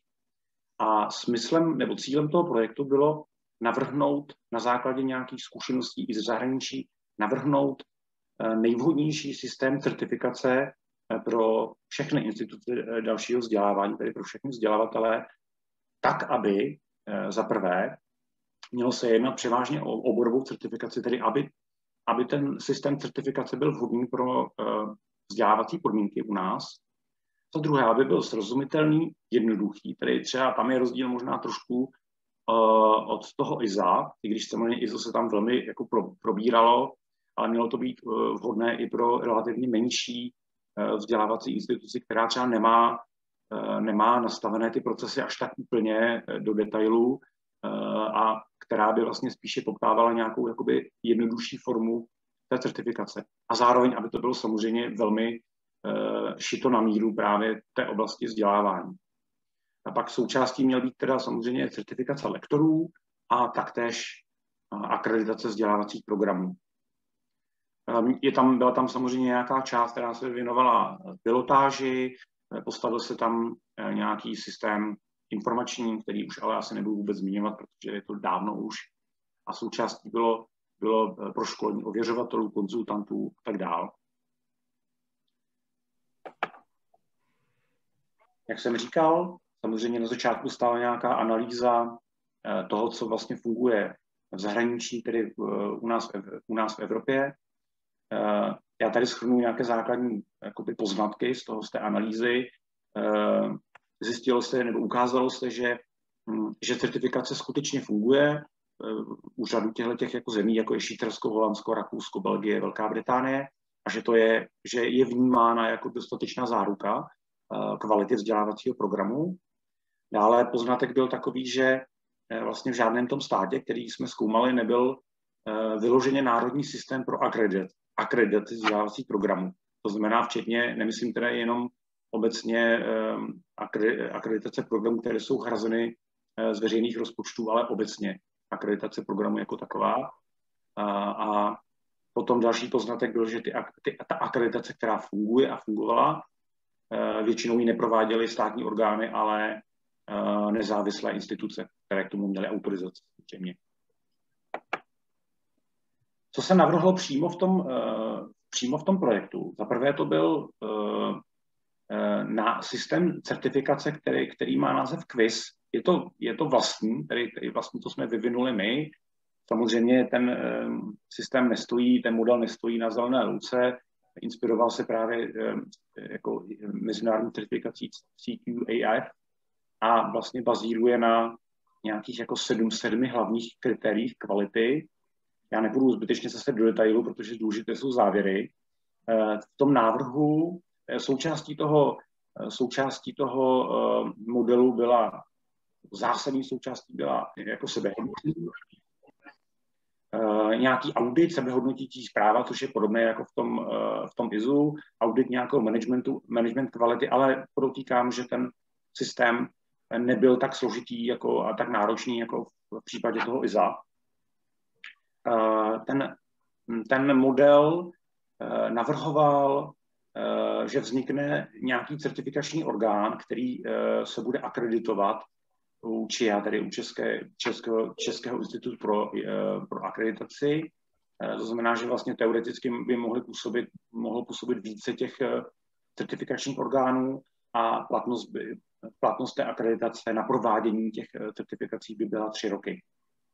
Eh, v rámci projektu právě proběhla pilotáž a eh, já jsem se díval, díval jsem se pro informaci, jestli ten systém je už úplně mrtvý a skutečně se ukazuje, že mrtvý je, protože našel jsem pouze jednu jedinou vzdělávačku, která vlastně se nějak byla na svých stránkách, že má tenhle ten quiz. Potom tam byl zásadním problémem to, že ty zainteresované strany, tenkrát ministerstvo práce, ministerstvo školství, um, se nebyli schopni dohodnout na to, kdo bude tím, nebo nebyli schopni ten systém prosadit v reálu a nebyli schopni vybrat vlastně, dohodnout se s ČIA, uh, tak, aby fungovala nějaká, jakoby dlouhodobě, aby to fungovalo vlastně ten systém té akreditace. Ten systém prostě se um, nějakou dobu fungoval na nějaké omezené úrovni a pak vlastně vyhasl. Potom v tom projektu byl navržen mm, alternativní, eh, alternativní model certifikace, který právě se odkazuje na, na ono ISO, které jsme tady už slyšeli. To znamená, vlastně je to, je to jako vlastně to samé, akorát je to oborově zaměřené, tedy vlastně navazuje to na nějaké uh, specifické požadavky uh, toho vzdělávacího trhu a zároveň uh, to do určité míry zjednodušuje uh, tu původní certifikaci ISO 9001. Takže je tam samozřejmě zase opět uh, audit kvality, managementu řízení kvality a tak dál, vzdělávací program jako takový, hodnocení, plánování cílů kvality, stanovení odpovědnosti, přeskoumání systému managementu a tak dál. Součástí byl, bylo i, i měření spokojenosti zákazníků. Takže vlastně takový derivát toho, toho, toho modelu ISO 9001 zaměřený teda oborově. Já jsem ještě vybral jeden takový model, který uh, si myslím, že je jako zajím, velmi zajímavou inspirací i dneska. Uh, je to šítrský certifikační systém Edukua, který funguje do, dneš, do dneška. Ten systém je zajímavý hlavně v tom, že se podařilo uh, zvýšit jeho prestiž do té míry, že je využíván jak tady v oblasti komerční, to znamená šítrské vzdělávací instituce ji využívají protože má určitou prestiž a protože vlastně i z pohledu toho zákazníka eh, je to naplnění nějakého kvalitu nebo obrazu kvality a zároveň je využíván. Není to úplně, je to sice celostátní systém, ale využívají ho jen některé kantony švýcarské. Je to úplně dobrovolný systém, ale pokud jste eh, vzdělávací instituce, která eh, chce čerpat z veřejných prostředků, to znamená, jde do zakázek, to znamená jinými slovy, Součástí teda samozřejmě jsou i zakázky eh, vzdělávání pro školy, eh, pro pedagogy a tak dál, tak vlastně pokud chce si sáhnout do tohohle trhu, tak musí mít tu certifikaci. Eh, tu certifikaci vlastně řídí Švýcarská federace pro vzdělávání dospělých, což je vlastně takovou alternativou pro naše, nebo naš, naší alternativou je, je asociace AIVD, tedy akorát, že se tam v rámci toho Ehm, té profesní organizace zřídila taková buňka, která vlastně je velmi dobře vytrénovaná, mají na to nějaké prostředky a nějakým způsobem jim je udělována akreditace eh, švýcarským, tuším, ministerstvem školství. Eh, každé taky nějaký, nějaké období prostě se to obnovuje tak, aby byla zajištěna eh, kvalita té certifikace toho modelu celého. Tak já myslím, že zrovna třeba tohle, tenhle model je dostatečně živý a zajímavý jako z různých hledisek i pro nás.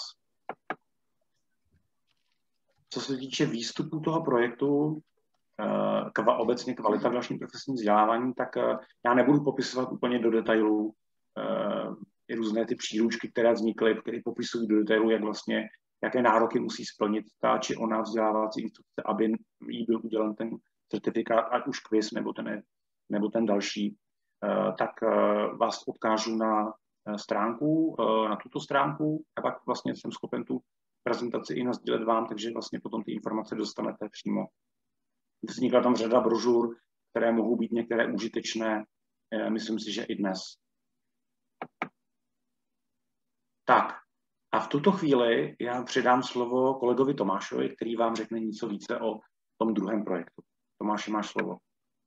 Martina, moc děkuji za předání slova. Doufám, že ještě Doufám, že ještě zvládáte poslouchat, eh, protože toho je poměrně hodně těch informací. No Martina, poprosím o vypnutí mikrofonu, abychom se ne, neřetězili. Děkuji moc.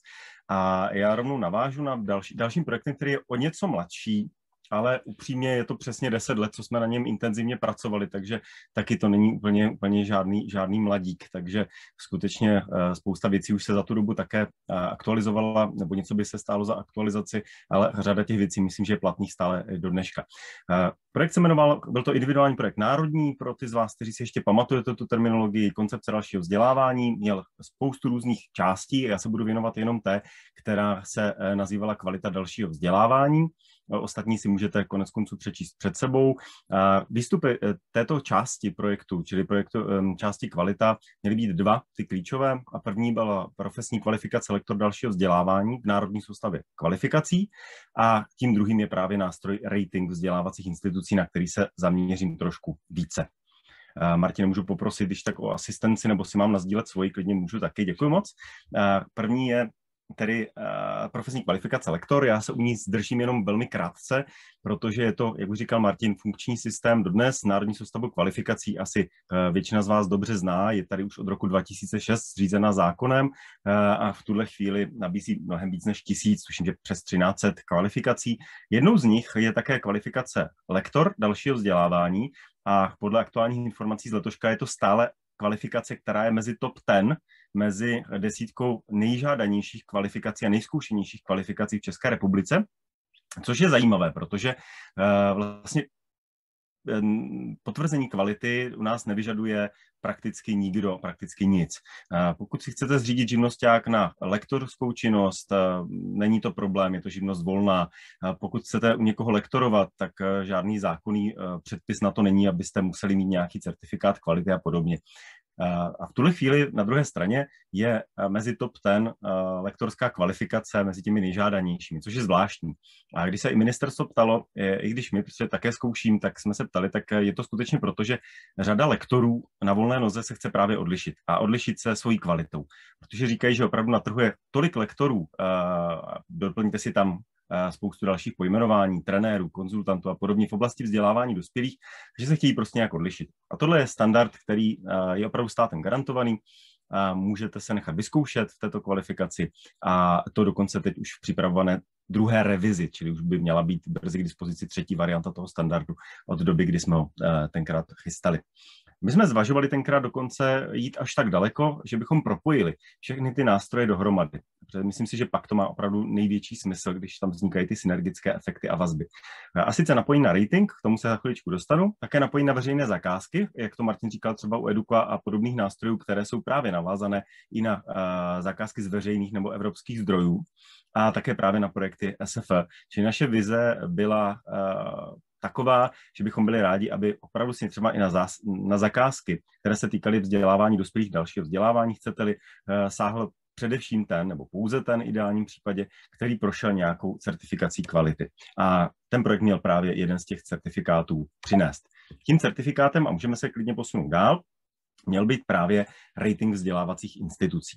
Rating jsme to nazvali, protože to je jednak mezinárodní název a jednak je všeříkající jak vám za chvilku představím ten systém opravdu v krátkosti, tak, eh, tak uvidíte, že to opravdu má, vlastně vykazuje znaky klasických ratingů, ať už, ať už si necháte rateovat cokoliv, tak vlastně je to velmi podobný systém. Principem měl být velmi srozumitelný a jednoduchý, tak aby každý, kdo se do toho ratingu na chviličku podívá, aby se v něm rychle zorientoval a aby dokázal si vybrat vhodného dodavatele vzdělávání právě pro sebe. Měl být určený právě zákazníkům privátního i veřejného sektoru, samozřejmě neziskového sektoru a podobně. Hlavním cílem mělo být zřetelně, jasně odlišit, kdo je a kdo není kvalitní na trhu vzdělávání dospělých, čili kdo dosáhl nějakého standardu kvality a kdo tohoto standardu nedosáhl anebo o ní ani nepožádal o to ověření kvality.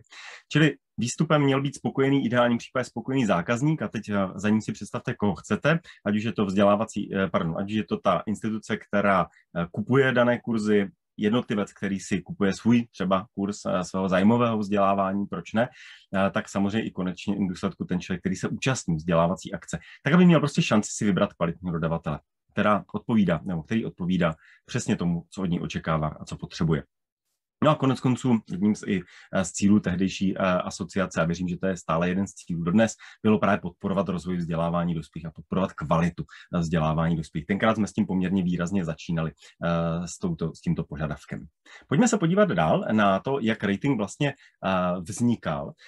Pro informaci tady jsou zástupci týmu, ten tým byl poměrně uh, velký, rozsáhlý, taky dohodnout se na, ně, na něčem v rámci celého toho týmu nebylo vůbec snadné, někdy to trvalo i poměrně uh, dlouhé, dlouhé hodiny. Byli tam zástupci komerčních vzdělávacích institucí, čili těch, kteří, kteří dodávají různých vzdělávacích společností, agentur, uh, které zajišťují dodávání různých vzdělávatelských služeb na našem trhu, tak samozřejmě také zástupce škol, protože školy jsou také významným poskytovatelem vzdělávání dospělých a dalšího vzdělávání v České republice. Ale nejsou to jenom školy, jsou to i školská zařízení, jedním třeba ze zástupců byl také zástupce, který uh, byl za Dům dětí a mládeže, takže opravdu i tyto instituce poskytují vzdělávání dospělých i dospělým, takže aby tam byli uh, skutečně, uh, pardon, ano, na tom volném trhu, takže aby tam byli skutečně zástupci pokud možno všech institucí. Měli jsme tam také zástupce, dokonce několik zástupců univerzit, také nejenom prostřednictvím center eh, dalšího vzdělávání nebo institutu celoživotního učení a celoživotního vzdělávání poskytují další vzdělávání, také jsme měli zástupce neziskovek, ministerstva školství i ministerstva práce a sociálních věcí. Možná si říkáte, proč MPSV? Jednoduchý důvod, protože ministerstvo práce spravuje mimo jiné rekvalifikační kurzy, respektive uh, spravuje, uh, respektive financuje, ať jsem úplně přesný, uh, rekvalifikační kurzy a je to jeden z hlavních uh, financiérů, řekněme, právě dalšího vzdělávání prostřednictvím úřadu práce a rekvalifikačních kurzů, tak aby i oni se mohli podílet právě na připravování tohoto nástroje. Pojďme dál prosím. A už se můžeme rovnou vrhnout na to, komu byl vlastně rating určen. E, měli jsme tři klíčové cílové skupiny, asi to dává smysl. První jsou vzdělávací instituce, čili uh, kdo se měl tedy nechat rejtovat, ať, ať, si, uh, ať si rozumíme. Klasické vzdělávací instituce, primárně tedy komerčního charakteru, to je v tom prvním bodě, v tom druhém bodě školy, školská zařízení, samozřejmě neziskový sektor automaticky také. A e, třetí, možná pro vás neúplně standardní e, bod, a to jsou útvary vzdělávání v subjektech, e, které dělají něco jiného a mimo jiné také vzdělávají. Typicky jsou to třeba zástupci velkých firm, velkých společností, které sami o sobě mají uvnitř velký vzdělávací útvar. Čili jsou to třeba opravdu oddělení vzdělávání velkých firm, která sama o sobě uh, jsou vzdělavateli, třeba interními vzdělavateli uh, dovnitř těch firm. Jsou to různé banky, pojišťovny, ale i celá řada dalších, dalších uh, odvětví vlastně našeho podnikání, respektive průmyslu. Pojďme se podívat dál, či logicky. Logicky to jsou, to jsou ty vzdělávací instituce všeho druhu, na které my jsme se zaměřovali. Já se bavím samozřejmě o tom, možná jsem to nezdůraznil na začátku, ale to všechno, o čem se bavím, je skutečně návrh. Nebo byl to návrh, Bohužel zůstal v té fázi, eh, kdy jsme odevzdali velmi podrobně zpracován a mimochodem eh, toho z vás, kdo by zajímal eh, podrobností k ratingu, tak velmi snadno i vygooglí, zadejte si rating vzdělávacích institucí, rating dalšího vzdělávání, případně přidejte název koncept, tak vlastně najdete na starém webu Národního vlastně ústavu pro vzdělávání tehdejšího, tak najdete vlastně podrobnosti, informace, dokonce i nějakou metodickou příručku. Takže pokud vás by zajímaly detaily, tak najdete na webu také. My jsme navrhovali, aby byl udělovan na dobu tří let a tady asi najdete jasnou inspiraci eh, tím, co jste poslouchali už dopolední části o ISU, protože my jsme se samozřejmě nechali inspirovat právě Edukvou a právě celou řadu dalších, eh, dalších nástrojů, jako je třeba Q4, který eh, Martin zmiňoval, mimochodem dodnes funkční nástroj, zejména v Evropě, bohužel ne tolik v České a Slovenské republice, ale stále funkční nástroj. Plus samozřejmě ISO, nástroj z celé rodiny ISA, čili nejenom 9 2001, ale třeba 17024, která se věnuje certifikaci personálu a celé řady dalších vlastně norem. Eh, s tím, že opravdu audit měl být, nebo rating měl být udělen na dobu tří let, Neuvažovali jsme o průběžném ověřování, jak mluvila kolegyně z Olomouce, kdy každý rok je vlastně takzvaný dohledový audit, který sleduje, jestli v tom průběhu eh, těchto tříletého období se něco nemění. Čili eh, v tuhle chvíli to jsme neuvažovali. Zpracovali jsme i podmínky, vlastně, jak zjednodušeně žádat o opakované udělení ratingu, odnětí, případně zánik ratingu a podobné, podobné záležitosti. Čili ta metodika byla poměrně přesně nastavena. A teď se dostávám k tomu, co vás asi nejvíce zajímá, a sice jak to celé mělo vypadat. Tak, to jsou tři klíčové prvky celého systému ratingu. A teď si možná říkáte, proč jsem na konci nebo ke konci, právě protože ono to vlastně vychází z těch věcí, které tady už byly zmíněny. Uvažovali jsme o tom a první, první fázi o tom, aby se samotná vzdělávací instituce ohodnotila sama. Čili byl tam nástroj na autoevaluaci, pak následovalo externí hodnocení, kdy opravdu auditor měl podobně jako v, třeba v takovém ISU přijet přímo do té vzdělávací společnosti a ověřit to, zda v té autoevaluaci to, co je popsáno, je ve skutečnosti realitou. No a třetí prvek, eh, který je taky v některých zahraničních auditech známý, u nás se příliš nepoužívá, byli jsme asi jediní, kteří ho používají s výjimkou právě toho nástroje Q4, který zmiňoval Martin, tak eh, je hodnocení zákazníkem. Protože my jsme došli k tomu, že skutečně klíčovým hodnotitelem by měl být primárně ten zákazník. Či ten, který si objednává, který si platí, který se účastní. Ne vždycky, mimochodem, možná, kdo mě posloucháte pečlivě, tak jste si řekli, to jsou ale někdy tři rozdílní lidé máte naprostou pravdu. Ale klíčový je prostě zákazník, ten, kdo si ten kurz objednává, eh, kdo vlastně jediný by měl, ten hlavní, který by měl posoudit, jestli naplnil cíle, jestli ho posunul v nějakých kompetencích a podobně. Čili vyvinuli jsme i metodiku, která zahrnovala právě... Já nevím, já jsem byla u Ivy. Prosím o vypnutí kolegyně, eh, určitě byla u Ivy, mimochodem IVA 2, eh, to možná nevíte, ale nevím, jestli to je zrovna ono, a IVA 2 byl dokument vlastně verze eh, ISO 9001, se kterou jsme pracovali právě v tom původním, tak nevím, jestli se kolegyně ještě baví o tom, co představoval Martin, tak je to IVA s dvojitým M, kdybyste hledali náhodou tuhle metodiku pro certifikaci právě vzdělávacích institucí, tak je to ISO 9001 IVA 2. Tak, zpátky od Ivy k ratingu. My jsme vyvinuli rating podobný jako je hodnocení hotelu. To je důležité říct na začátku. Eh, vymysleli jsme jednoduchý systém, který se sestává se čtyř kritérií kvality, to je jedna strana tabulky, kterou vám za chvilku ukážu, a pět uh, úrovní ratingu na straně druhé. Udělali jsme to velmi jednoduše systémem hvězdiček, pak jsme dospěli k tomu, že to možná nebylo úplně ideální uh, varianta, ale to vůbec nevadí, protože opravdu tady ten vykřičník na konci toho posledního bodu je první úroveň standardem kvality. A tady je právě to matoucí vůči hotelům. Asi do dvou, jedno dvouhvězdičkového hotelu, tříhvězdičkového hotelu na dovolené si říkáte, to asi nebude úplně optimální, když to čtyři hvězda standard, pěti hvězda, tak to už je takový, nechci říct, že luxus, ale takový jako trošku lepší hotel. A pokud směří, míříte do Duboje, tak jdete s hvězdičkami ještě dál. Ale uh, zpátky k nám první úroveň už měla být právě ten standard kvality. Čili kdo projde už hodnocení kvalita, získá alespoň jednu hvězdičku, tak to je ten minimální standard. Čili není to nekvalitní vzdělávací instituce, ale je to kvalitní vzdělávací instituce. A ty hvězdičky nahoru už neměly odlišovat kvalitu v tom běžném pojetí, jak si říkáme, je to kvalitní nebo není to kvalitní. Ale mělo to právě odlišovat, co ten zákazník konkrétně od té vzdělávací instituce vyžaduje. A tady právě byl ten problém hodnocení hvězdičky u hotelu a hodnocení hvězdiček u vzdělávacích institucí bylo jiné. Děkuji, Martine. Eh, čili mrkněte se, prosím, v krátkosti. Eh, ty materiály jsou opravdu k dispozici na internetu, eh, takže klidně si to potom dohledejte, abyste se v tom nastudovali, co potřebujete výrazně déle.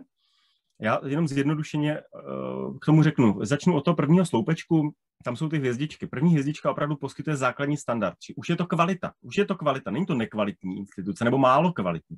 Je to kvalitní vzdělávací instituce, ale nemůžete od ní očekávat bůh co si vymyslíte. To byste mohli očekávat od těch vyšších úrovní. Čili je to instituce, která je kvalitní, u které máte, měli byste mít jistotu, když projdete tím uh, auditem, uh, že opravdu budete mít kvalitní službu, a ty hvězdičky výšší už odlišují vlastně v tom té úrovni té kvality, jako co ještě navíc pro vás může udělat. První sloupeček, eh, teda druhý v tom, v tom pořadí, první, který se týká kritérií lektorské zázemí. Tady jsme nastavili procenta kvalifikovaných lektorů, s tím jsme přímo psali, kdo je kvalifikovaný lektor. Samozřejmě odbornost, a my jsme hodnotili pochopitelně v tom ratingu tu lektorskou kompetenci. Či berte kvalifikovaných lektorů pro lektorské záležitosti. Jo? Neznamená to, že 4% kvalifikovaných pro, když je to elektro, firma, která poskytuje vzdělávání v oboru elektro, takže tam může mít 65% lidí, kteří nemají s elektrikou nic společného, přesto učí elektriku.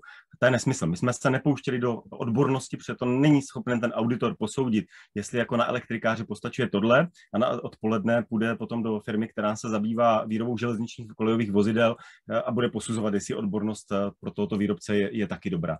Prostě my jsme schopni posoudit tu odbornost lektorskou. 35%, čili přibližně třetina, až po 90% v té páté úrovni, nejvyšší, když čtete o zvrchu dolů. Dalším kritériem, které, jsme, eh, které považujeme za velmi důležité měření efektivity procesu. Je fajn, že máte super lektora, je fajn, že máte spoustu dalších věcí, které tam vidíte, skvěle pro zákaznicky orientovanou instituci, skvělé zázemí, výborné materiály a podobné věci, když zkrátka na konci není ten efekt, který jste očekávali.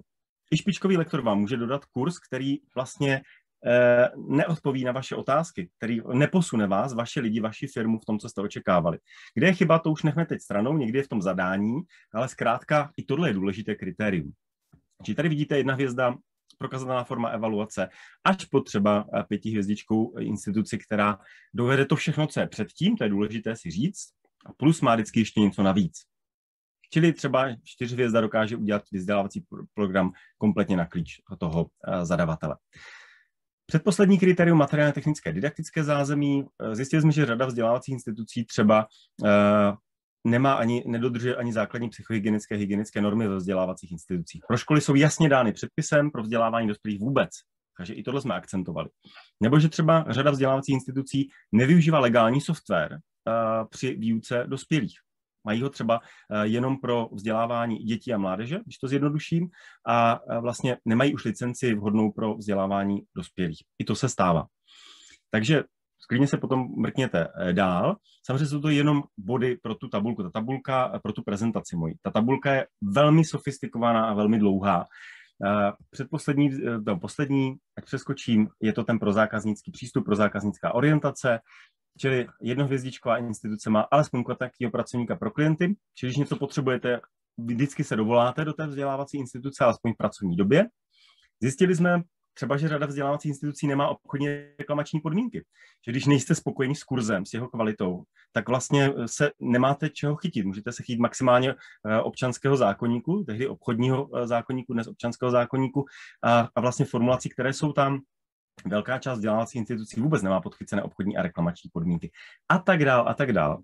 Čili mrkněte se v klidu, věřím, že jste si mezi tím už pro, prolistovali nebo prokoukli ty jednotlivé, jednotlivé body eh, a můžeme se posunout dál, abychom se podívali na to, protože my jsme opravdu dělali pilotáž toho, té vzdělávací, eh, vlastně tohohle ratingu a zjistili jsme, že tak, aby to celé mohlo fungovat, aby celý rating a vůbec jakýkoliv nástroj vzdělávání eh, nebo hodnocení vzdělávání mohlo fungovat, je potřeba, aby o něm lidé věděli.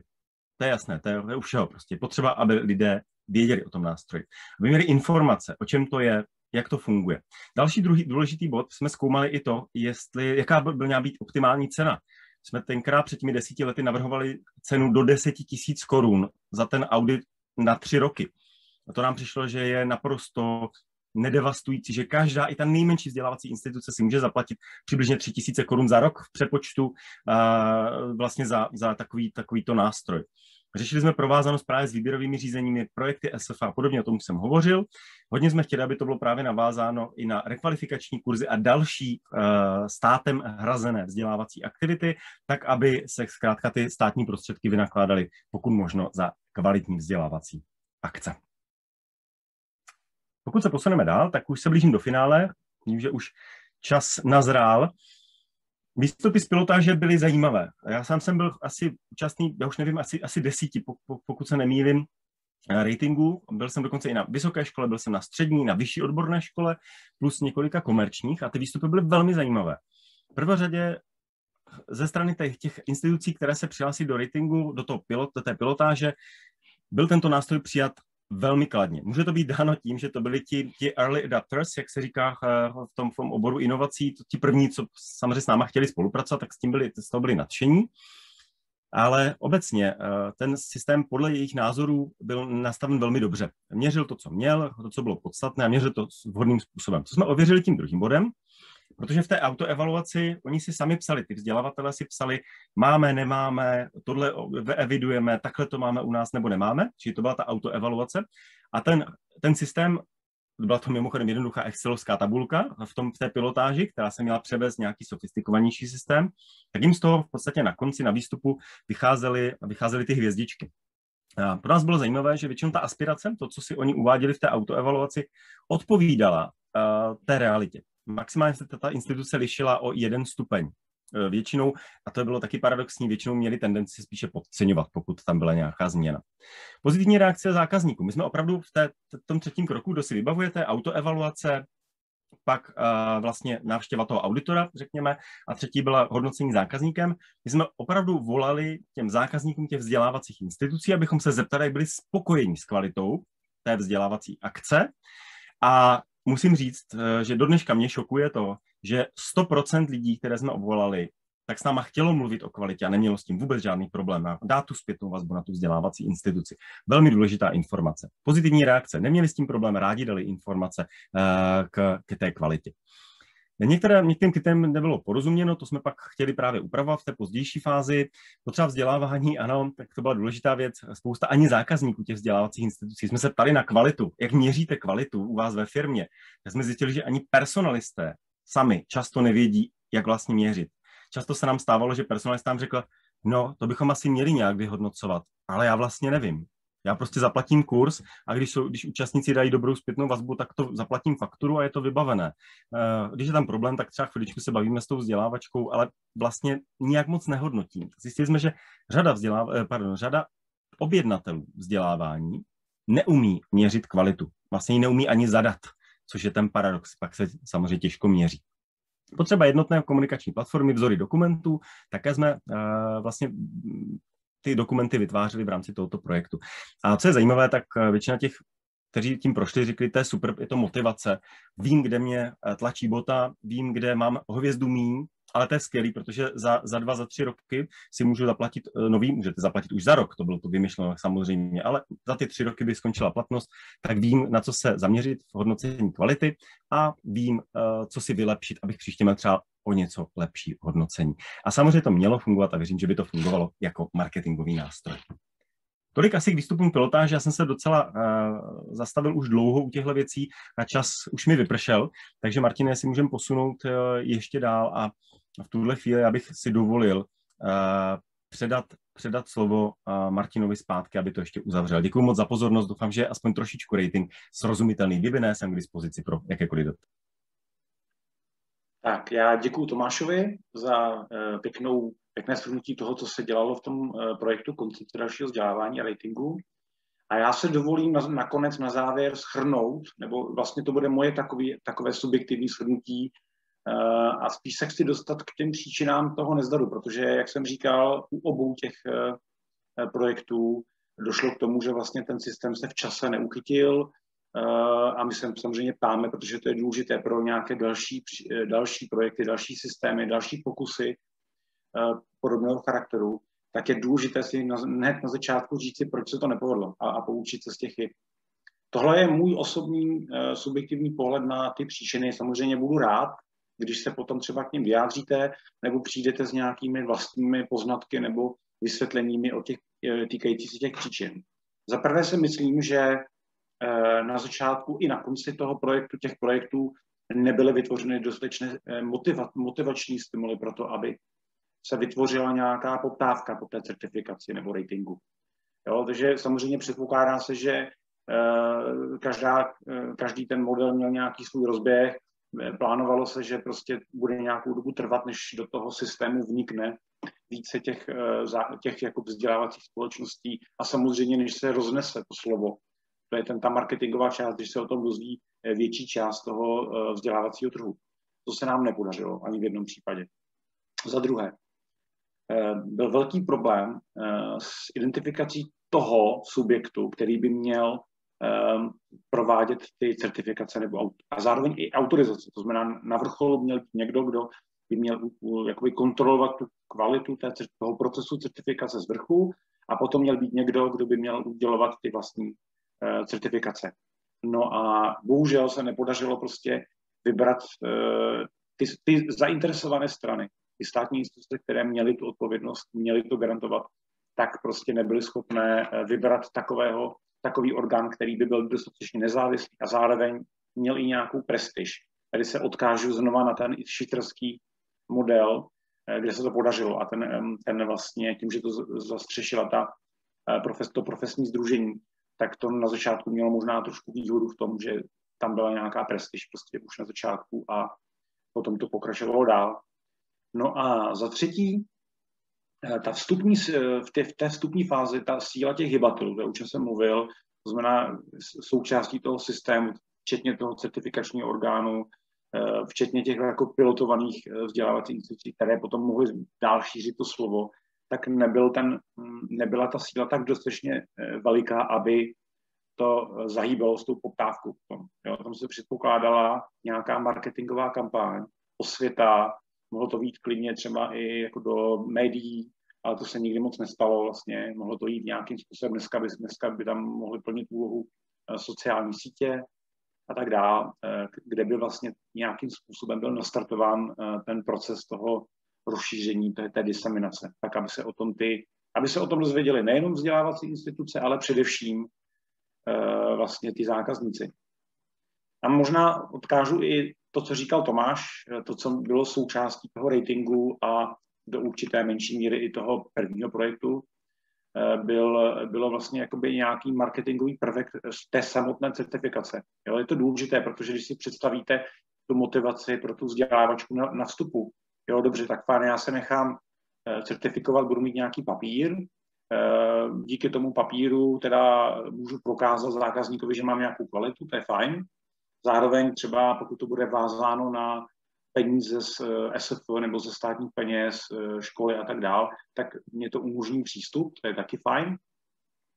Ale není to, a samozřejmě není to až tak možná až tolik pro ty vzdělávací instituce, jako kdyby to bylo jako marketingový nástroj, kdy třeba zjišťování spokojenosti zákazníků ať už telefonicky nebo jiným způsobem. Je, je, toto je totiž možné brát jako, jako součást marketingu. Ta firma vzdělávací by na toto mohla slyšet jako pozitivně, když vlastně ten certifikační orgán je pozorní dopředu řekne, součástí toho bude i to, že, vám, že budeme zjišťovat spokojenost vašich zákazníků. Je to vlastně de facto uh, velmi silný, může to být jako velmi silný marketingový nástroj a další motivace pro tu vzdělávačku, aby se certifikovala. Tak to je moje nějaká, můj nějaký jakoby osobní vhled e, do příčin neúspěchu. Jinak jakoby zase ještě z rezumé, to už tady bylo řečeno taky, co, až, ať si vezmete jakýkoliv ten model, nebo téměř jakýkoliv model e, certifikace, e, tak vlastně má nějaké tři základní přístupy, které se v různých mírách kombinují, ale vždy, vždy tam jakoby většinou tam jsou přítomné. A to je samozřejmě autoevaluace, je tam externí hodnocení tou tím certifikačním orgánem a potom do určité té či oné míry uh, zjišťování spokojenosti zákazníků, o kterém jsem mluvil.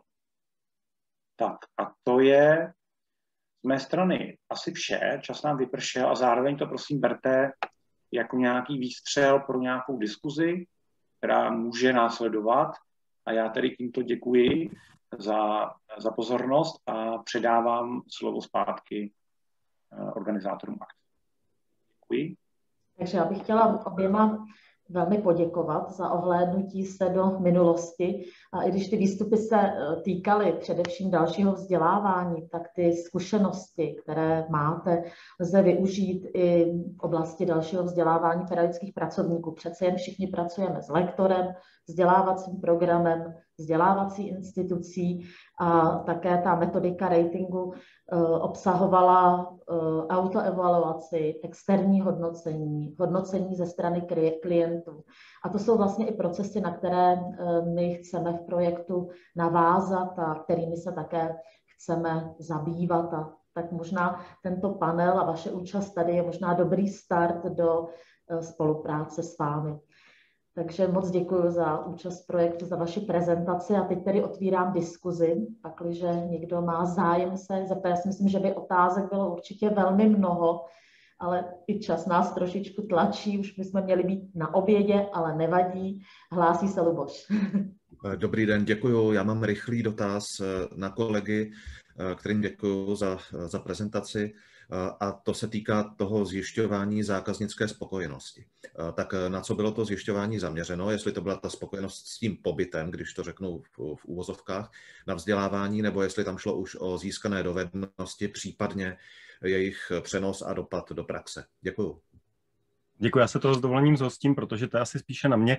Byl to poměrně uh, složitější metodika. Eh, my jsme vybírali jenom v krátkosti vezmu, jsme vybírali ze seznamu reálných zákazníků, jsme vybírali určitým krokem eh, přibližně 10 vzorků a ty jsme, ty jsme oslovovali s přibližně půlhodinovým telefonátem, eh, který se týkal všeho možného od administrace, všeho možného toho, co jsme nemohli zjistit od jiných.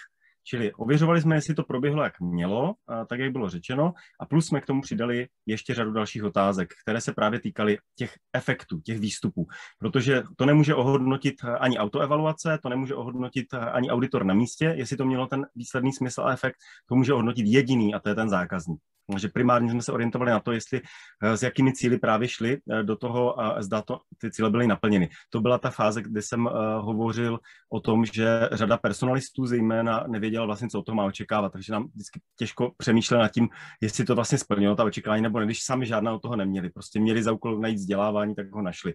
Takže tam jsme zjistili právě ten, ten kámen úrazu. Ale tam, kde to bylo, velmi zajímavé bylo, že u těch lidí logicky, kteří si platili ze svého, i takové jsme tam měli, tak samozřejmě to precizně věděli protože ti přesně věděli, zaplatil jsem si kurz, dal jsem pět tisíc za lyžařský kurz a ano, umím lyžovat, jsem spokojen, bylo to perfektní a nemám co dodat, rozhodně bych doporučil dál. Takže u těch personalistů to bylo trošku horší, ale primárně opravdu jsme se ptali na tu efektivitu, na ten efekt, na ten konečný důsledek, jestli to mělo uh, ty pozitivní efekty, jaké to mělo, čili zda se dospělo k tomu cíli vzdělávání. Mhm. Děkuju. Takže bych poprosila další dotaz, jestli někdo má zájem se. Já bych se rád optal, nevím, no. nemohu najít ručičku. Robert Gamba, zdravím. Nevím, jestli mě vidíte. No, vidíme. Já bych měl k tomu jenom nějaké, nějaké doplnění. Eh, já bych řekl, že eh, vzhledem k tomu, že víceméně eh, to, co bylo teď představeno, pochází ze stáje AIVD, tak jsme se jako asociace pokoušeli s ministerstvem jednat o tom, jestli by nedošlo přemapování stávajícího systému akreditací, což se ukázalo jako neprůstřelná zeď, nicméně ty, ty snahy z naší strany neustále trvají. Trošku mě zamrzelo, že jsme se nedostali do SIPA jako organizace. Myslím, že by stálo za to, aby eh, Národní pedagogický institut zvážil účast Asociace instituce vzdělávání dospělých v tomhle projektu jako aktivního partnera, protože si myslím, že skutečně eh, do toho máme co říct. Nehledě na to, že tady byla řečena jedna důležitá věc, eh, my můžeme fungovat a jsme na to připraveni jako ten nezávislý auditor při realizaci toho samotného systému vzdělávání dospělých. Pokud samozřejmě, což já si myslím, že asi nenastane, se tohohle toho, eh, tohohle toho, této role odmítne vzdát Česká republika jako stát, že tady to státní, státní zřízení je velice silné. Jo. Nicméně, znovu opakuju, asociace dělala poměrně značné kroky pro to, aby ten systém realizován byl. Nebyl, ale pokud se na tom pracuje, tak bychom rádi, a tady to říkám na tom fóru velice rád, rádi budeme participovat na realizaci této klíčové aktivity. Já jsem samozřejmě osobně k dispozici. Děkuji. Takže děkujeme za poznámku. Určitě počítáme s tím, že asociace bude s námi určitě spolupracovat, pokud bude chtít. A počítáme s tím, jo, že v té klíčové aktivitě kvalita DVPP a IVD určitě bude. Tak eh, nevidím, u Luboše vidím pacičku, ale předpokládám, že už teda jako asi tam jenom zapomněl, že? Ano, už jsem to opravil, díky. Výborně. Takže ještě jednou moc děkuji. Děkuji vám za vaši prezentaci, za účast v našem panelu, moc toho vážíme a zkušeností je velmi mnoho a určitě se budeme snažit je využít a pokud to bude, tak společně s vámi. Ať se vám daří. Naschledanou. No a nás čeká obědová pauza, která bude uh, zhruba, která bude, no teď už bude trošku déle, půl hodiny a po pauzičce, to znamená v 11.45, se opět sejdeme v plénu, kdy vám poskytnu informace k odpolednímu programu a pak nás bude čekat ta praktická část. Takže dovolte abych uzavřela dnešní dopoledne a těším se na odpoledne. A dobrou chuť, pakliže někdo bude mít oběd.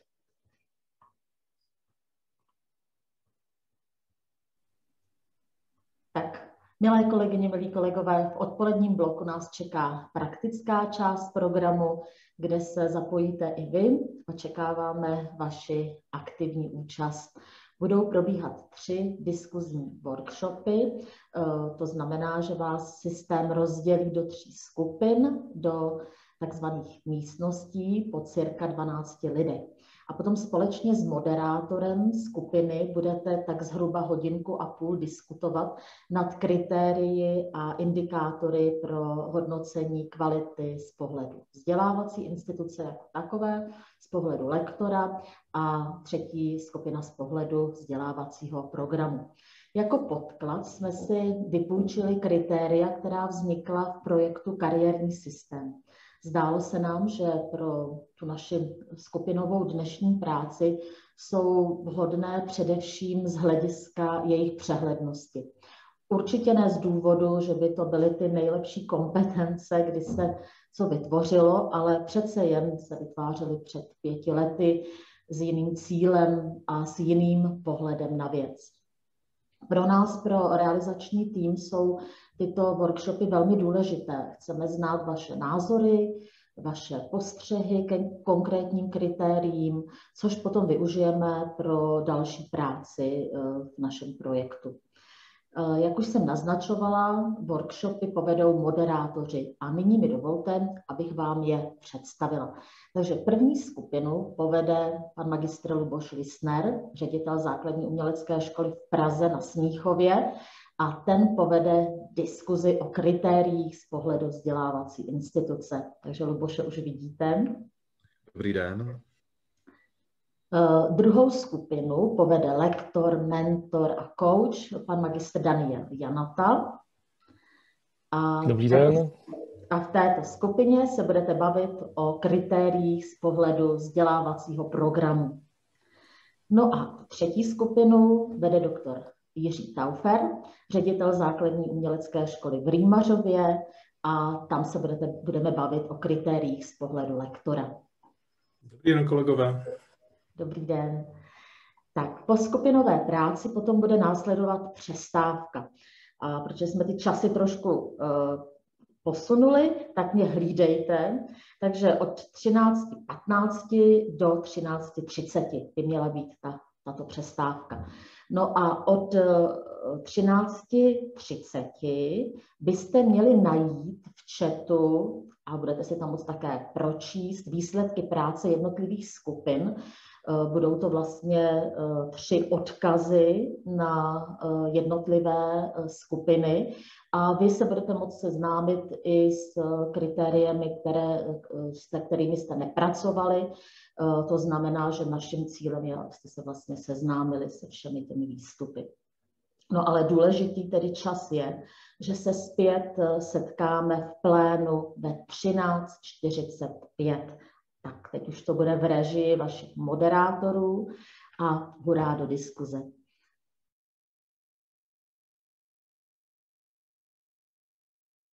Takže milé kolegyně, milí kolegové, vítám vás zpět v plénu. Chtěla bych vám všem velmi poděkovat, eh, vlastně těm, kteří se zúčastnili těch diskuzí, vydrželi.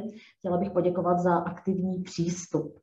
Také bych chtěla poděkovat moderátorům za vedení workshopu a nyní nás čeká představení výstupů jednotlivých, tedy pracovních skupin první skupině se diskutovalo o kritériích z pohledu vzdělávací instituce. Takže Luboši, jak to u vás dopadlo a jestli by se tedy mohlo provést shrnutí? Mm-hmm.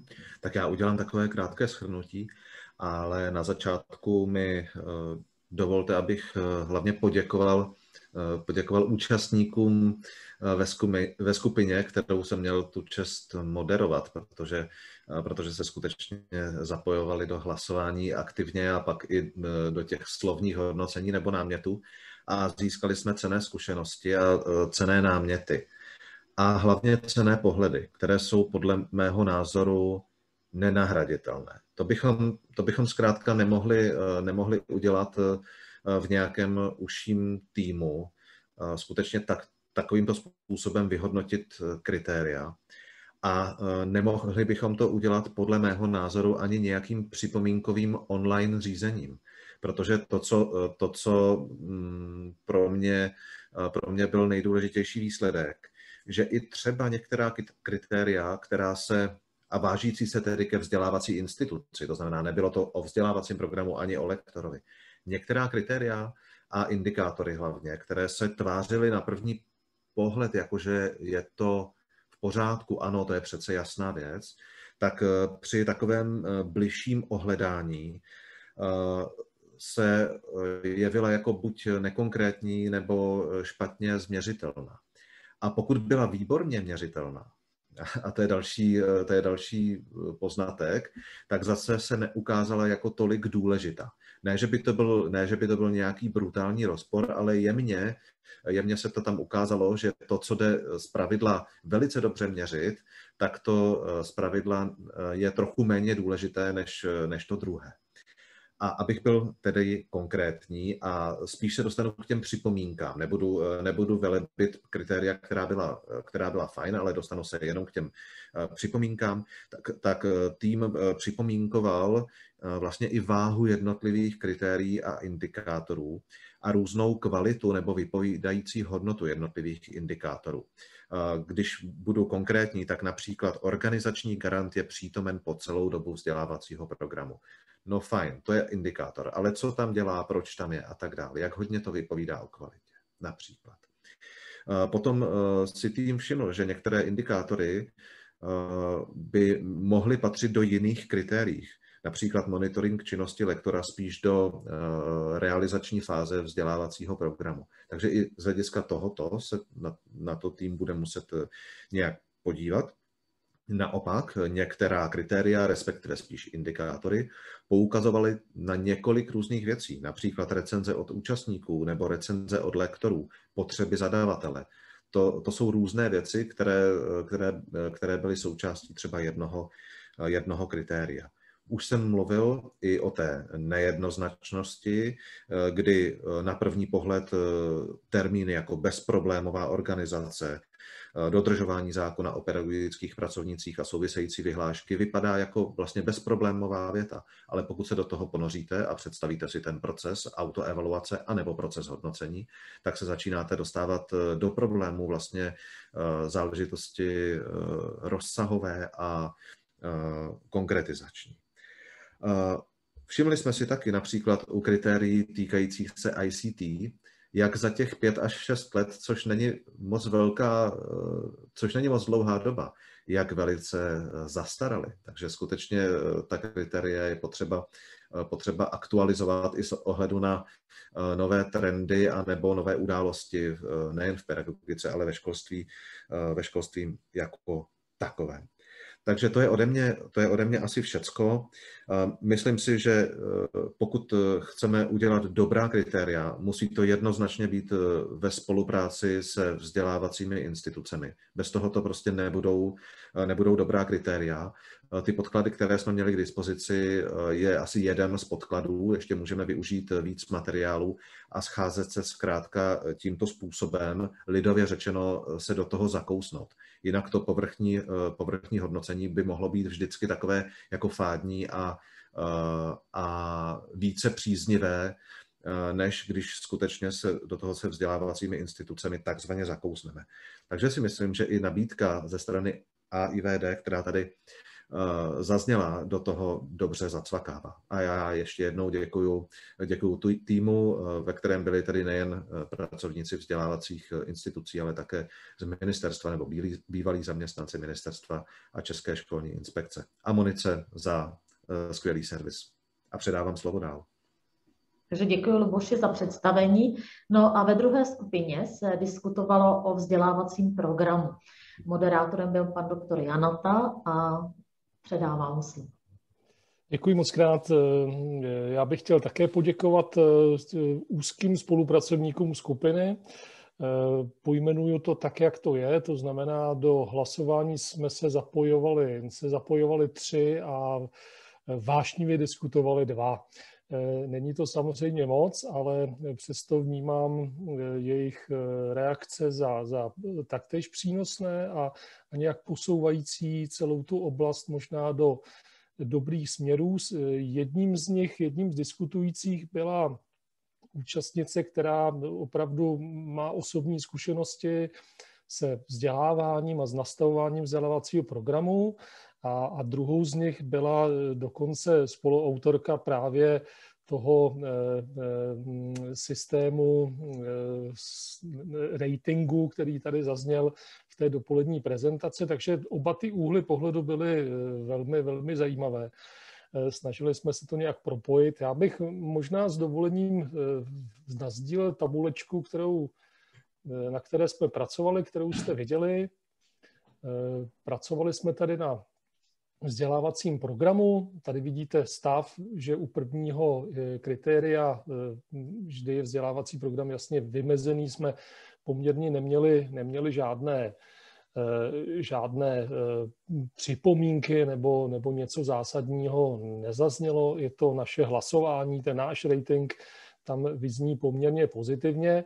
Postupně jsme eh, nabírali jakoby dech a eh, vlastně jsme více více přemýšleli právě z úhlu pohledu eh, toho přínosu jednotlivé skupiny kolem, kolem kritéria, do jaké míry rozvíjí, nerozvíjí to, či ono, nebo cílí na to potřebné, co bychom v rámci kvality chtěli, chtěli vnímat. U, toho druhé, u té druhé skupiny se právě nám objevily tady v této části kompetence, vůbec to zacílní na kompetence, aby ta hodnota, která je popsána v tom indikátoru B, cíle jsou stanoveny tak, aby vyjadřovaly konkrétní hodnotu. Tak ta hodnota nebyla pouze z pohledu jednotlivých skupin, Eh, že eh, získají certifikát a že je to eh, posune v nějakém žebříčku v nějakých jejich dovedností, ale aby to opravdu směřovalo k tomu, čemu třeba směřuje celé vzdělávání, to znamená k nějakém, v rámci nějakého kompetenčního modelu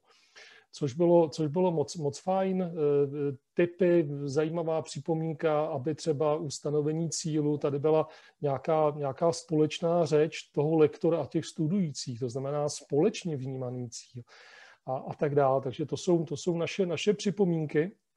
Eh, u té skupiny třetích indikátorů a kritéria tři Eh, jsme hodně zavnímali potřebu, aby se to celé odehrávalo v, v nějakém současném pojetí, neb se tady hovoří o metodách, formách, tak myslím, že to celé zastřešuje dobře konstruktivistická pedagogika. A, a eh, tento, tento eh, nechci říct trend, to je možná, možná špatně, špatně řečeno, ale celý ten obor, který by měl zastřešit to, jak, jakým způsobem vypadá Eh, vypadá práce pedagoga a, a co se vlastně odehrává, jaké, jaké formy, metody jsou vlastně vítány a potřebné právě třeba v tom kompetenčním eh, modelu, modelu vzdělávání.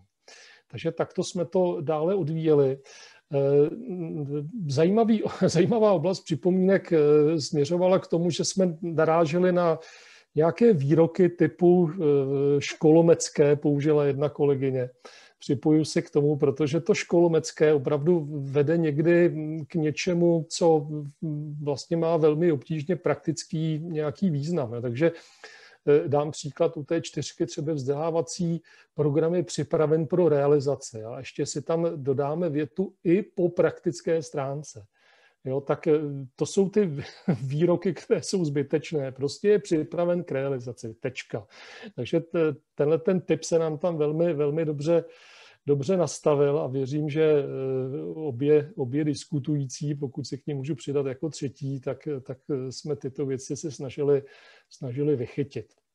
Eh, dali jsme i návrh na vyřazení, což je tady ta, ta naše pětka takové to eh, korespondující s, těmi, s tím nastavením té politiky České republiky EU. Přijde nám to, že že to je prostě jednak obtížně měřitelné, obtížně se s tím dá pracovat. Nakonec zjistíme, že to stejně tam nějak zapadá, protože všichni se pohybujeme v nějakém rámci, ale rozhodně bychom s tím v rámci kvality asi, asi nic neudělali. Eh, jedno kritérium eh, jsme objevili, že by možná mělo spadat do eh, oblasti právě kvality lektora, a to je to realizace eh, vzdělávací programu je personálně zajištěna. Máme tady parametr k lektorovi nebo indikátor k lektorovi. Myslíme si, že to můžeme nechat té oblasti, která vysloveně cílí na lektora a můžeme to maximálně třeba nechat to, že tým lektorů je zajištěn jo, a, a víc ničím dalším se nezabývat.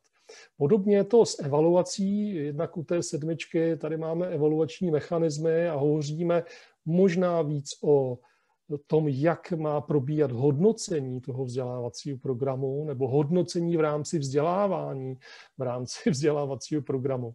Tak to je možná eh, jedna oblast a eh, celé evaluaci je věnována i devítka, tak to je, to je eh, možná zbytečné a ta naše poznámka k tomu směřuje. Osmičce zase jenom zmiňujeme, jsou to metody formy práce, z čeho by měly vycházet. Už bych se opakoval a u evaluace se musíme zastavit, protože tu máme zase takový zajímavý výrok, možná je to přání, které se objevuje v tom, v tom kritériu, aby evaluace byla pravdivá a přínosná. A pokud ta evaluace slouží správnému účelu, to znamená opravdu slouží organizaci, její kvalitě, jejímu rozvoji, tak opravdu věřím, že bude pravdivá a bude přínosná. A pokud bude sloužit kontrole, eh, bude sloužit, bude mít vnější cíl, tak opravdu eh, ta pravdivost a, a přínosnost je, je v úvozovkách. Ale to já věřím, že aspoň takto v tom našem týmu probíhalo, že to chápání evaluace a chápání kvality je opravdu něco, co jde dovnitř, co slouží vnitřní kvalitě. Díváme se na to z hlediska vnitřní motivace a ne, a ne té vnější. Tak potud, potud tedy krátký popis a děkuji za možnost to všechno sdílet. Já odpojuji obrazovku a předávám slovo. Tak, děkujeme moc za představení a třetí skupina se zabývala nebo diskutovalo o kritériích z pohledu lektora. Eh, skupinu vedl eh, pan doktor Taufer, takže abych ho poprosila o jeho vyjádření za celou skupinu. Kolegové, dámy a pánové, eh, těžko asi budu začínat nějaký můj vstup nebo vstup za naší skupinu jinak, než to udělal Daniel a Luboš. Já bych chtěl hrozně poděkovat za, za to, čeho jsem mohl být svědkem a čeho jsem mohl být součástí. Je to přesně tak, jak říkal Luboš. Pokud chceme vystavit, vystavit nějaký něco, co bude mít smysl a co, co se fakt bude dát použít, tak to bez lidí z praxe, kteří to potom budou používat, prostě nedá, to se nedá udělat. Čili, čili ta, bez takovýchhle debat, jak, jaké jsme měli možnost zorganizovat dneska, to prostě nejde. A uh, první výstup, který já se teda, jestli smím za kolegy takhle mluvit, který si takhle odnášíme, je, že, že to prostě nemůže být poslední debata. Já, jestli dovolíte, já teďka taky nazdílím, tak jak Daniel, a nazdílím obrazovku, dejte mi prosím minutku, omlouvám se, já se tady musím tak nějak se, přeskupit. Tak, je to tak. Takže teď byste asi měli vidět, vidět tu tabulku, když tak prosím Luboši, jestli kývním, já děkuju, tu tabulku, která se týká té třetí oblasti sledované, a sice lektora. S Eh, o té ne poslední debatě jsem hovořil hlavně proto, a to si myslím, že je docela dobrý výstup, že když se podíváte mezi naše kritéria, které, která my jsme posuzovali, tak, tak my, jsme se, my jsme fakt nestihli všechny. My jsme jich teda měli hodně, ono to bylo takové trošku nestihnutelné, ale i, i tak jsme jich stihli méně než skupiny předchozí. Eh, ale já se domnívám, že i to je docela dobrý výsledek, protože, nebo jakoby vypovídající výsledek, eh, protože to chce prostě eh, více času nebo spíše, spíše další debaty. To je první věc. Druhá věc je, že naše debata nebyla, tak jak někdo z předchozí, v předchozích skupin říkal, nějaká vášnivá. Nicméně i tak padaly, padaly nesmírně zajímavé podněty a upřímně si smím teda zase říct něco trošku osobního, tak to, ta, to, co je cené, si myslím, že není až tak úplně v tom hodnocení, taky samozřejmě, ale eh, daleko cenější eh, myšlenky já nacházím v těch, eh, v těch doplněních, které kolegové k jednotlivým kritériím měli. A vzhledem k tomu, že my jsme toho nestihli moc, tak si myslím, že mm, asi čas i na to máme, tak jestli dovolíte, a právě bych prošel hlavně ta doplnění, která, která kolegové vyslovili. Takže ke, kritériu prvnímu lektor má odpovídající vzdělání a praxi v oboru. Okamžitě kolegové podle mě celá správně doplňovali, že, že eh, vzdělání je samozřejmě super, eh, vysokoškolské, magisterské dobře, ale k tomu, k tomu prostě musí být jako druhá polovina, nejle větší část praxe. Jestli není ta praxe dokonce důležitější než, ta, než to Eh, než to vzdělání. A důležité jsou taky lektorské dovednosti. Ona ta praxe samotná nemusí být, eh, se nemusí někdy vztahovat eh, k tomu, co ten člověk lektoruje. U druhého kritéria lektor aktualizuje své lektorské odborné kompetence. A tady byl takový postřeh na, naší skupině, že to druhé kritérium se nám zdálo jakoby nesouměrně zpracované vzhledem k tomu prvnímu kritériu. A zase eh, se tady objevily hlasy potom, abych, abychom i do tohoto kritéria promítli praxi, eh, která by měla být součástí průběžného vzdělávání. Eh, a dotkli jsme se v té debatě i z toho bodu C, tady jestli vidíte, možná to trošku zvětším, aby to bylo čitelnější, ten indikátor C, že lektor své zkušenosti sdílí s ostatními lektory, tak to jeden z účastníků, řekl bych, podtrhl jako dost podstatný.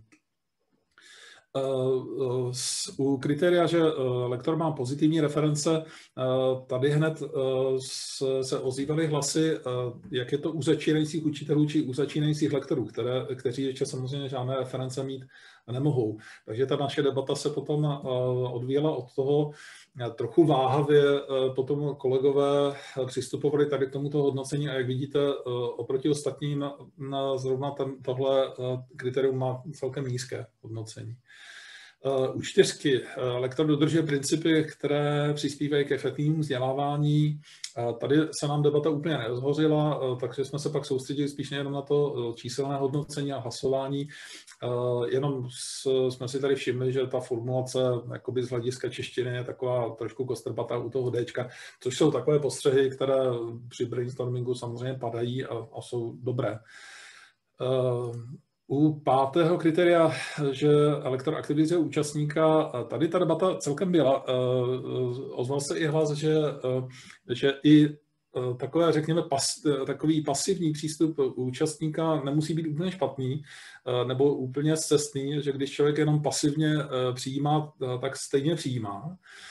Nicméně pak v další debatě s vyvstala jakoby, eh, jakoby eh, eh, potřeba, že, že je důležité zvážit, zda ten program cílí na potřeby účastníka, čili záleží situace od situace, někdy prostě záleží na té aktivizaci, někdy, někdy to tak důležité třeba není.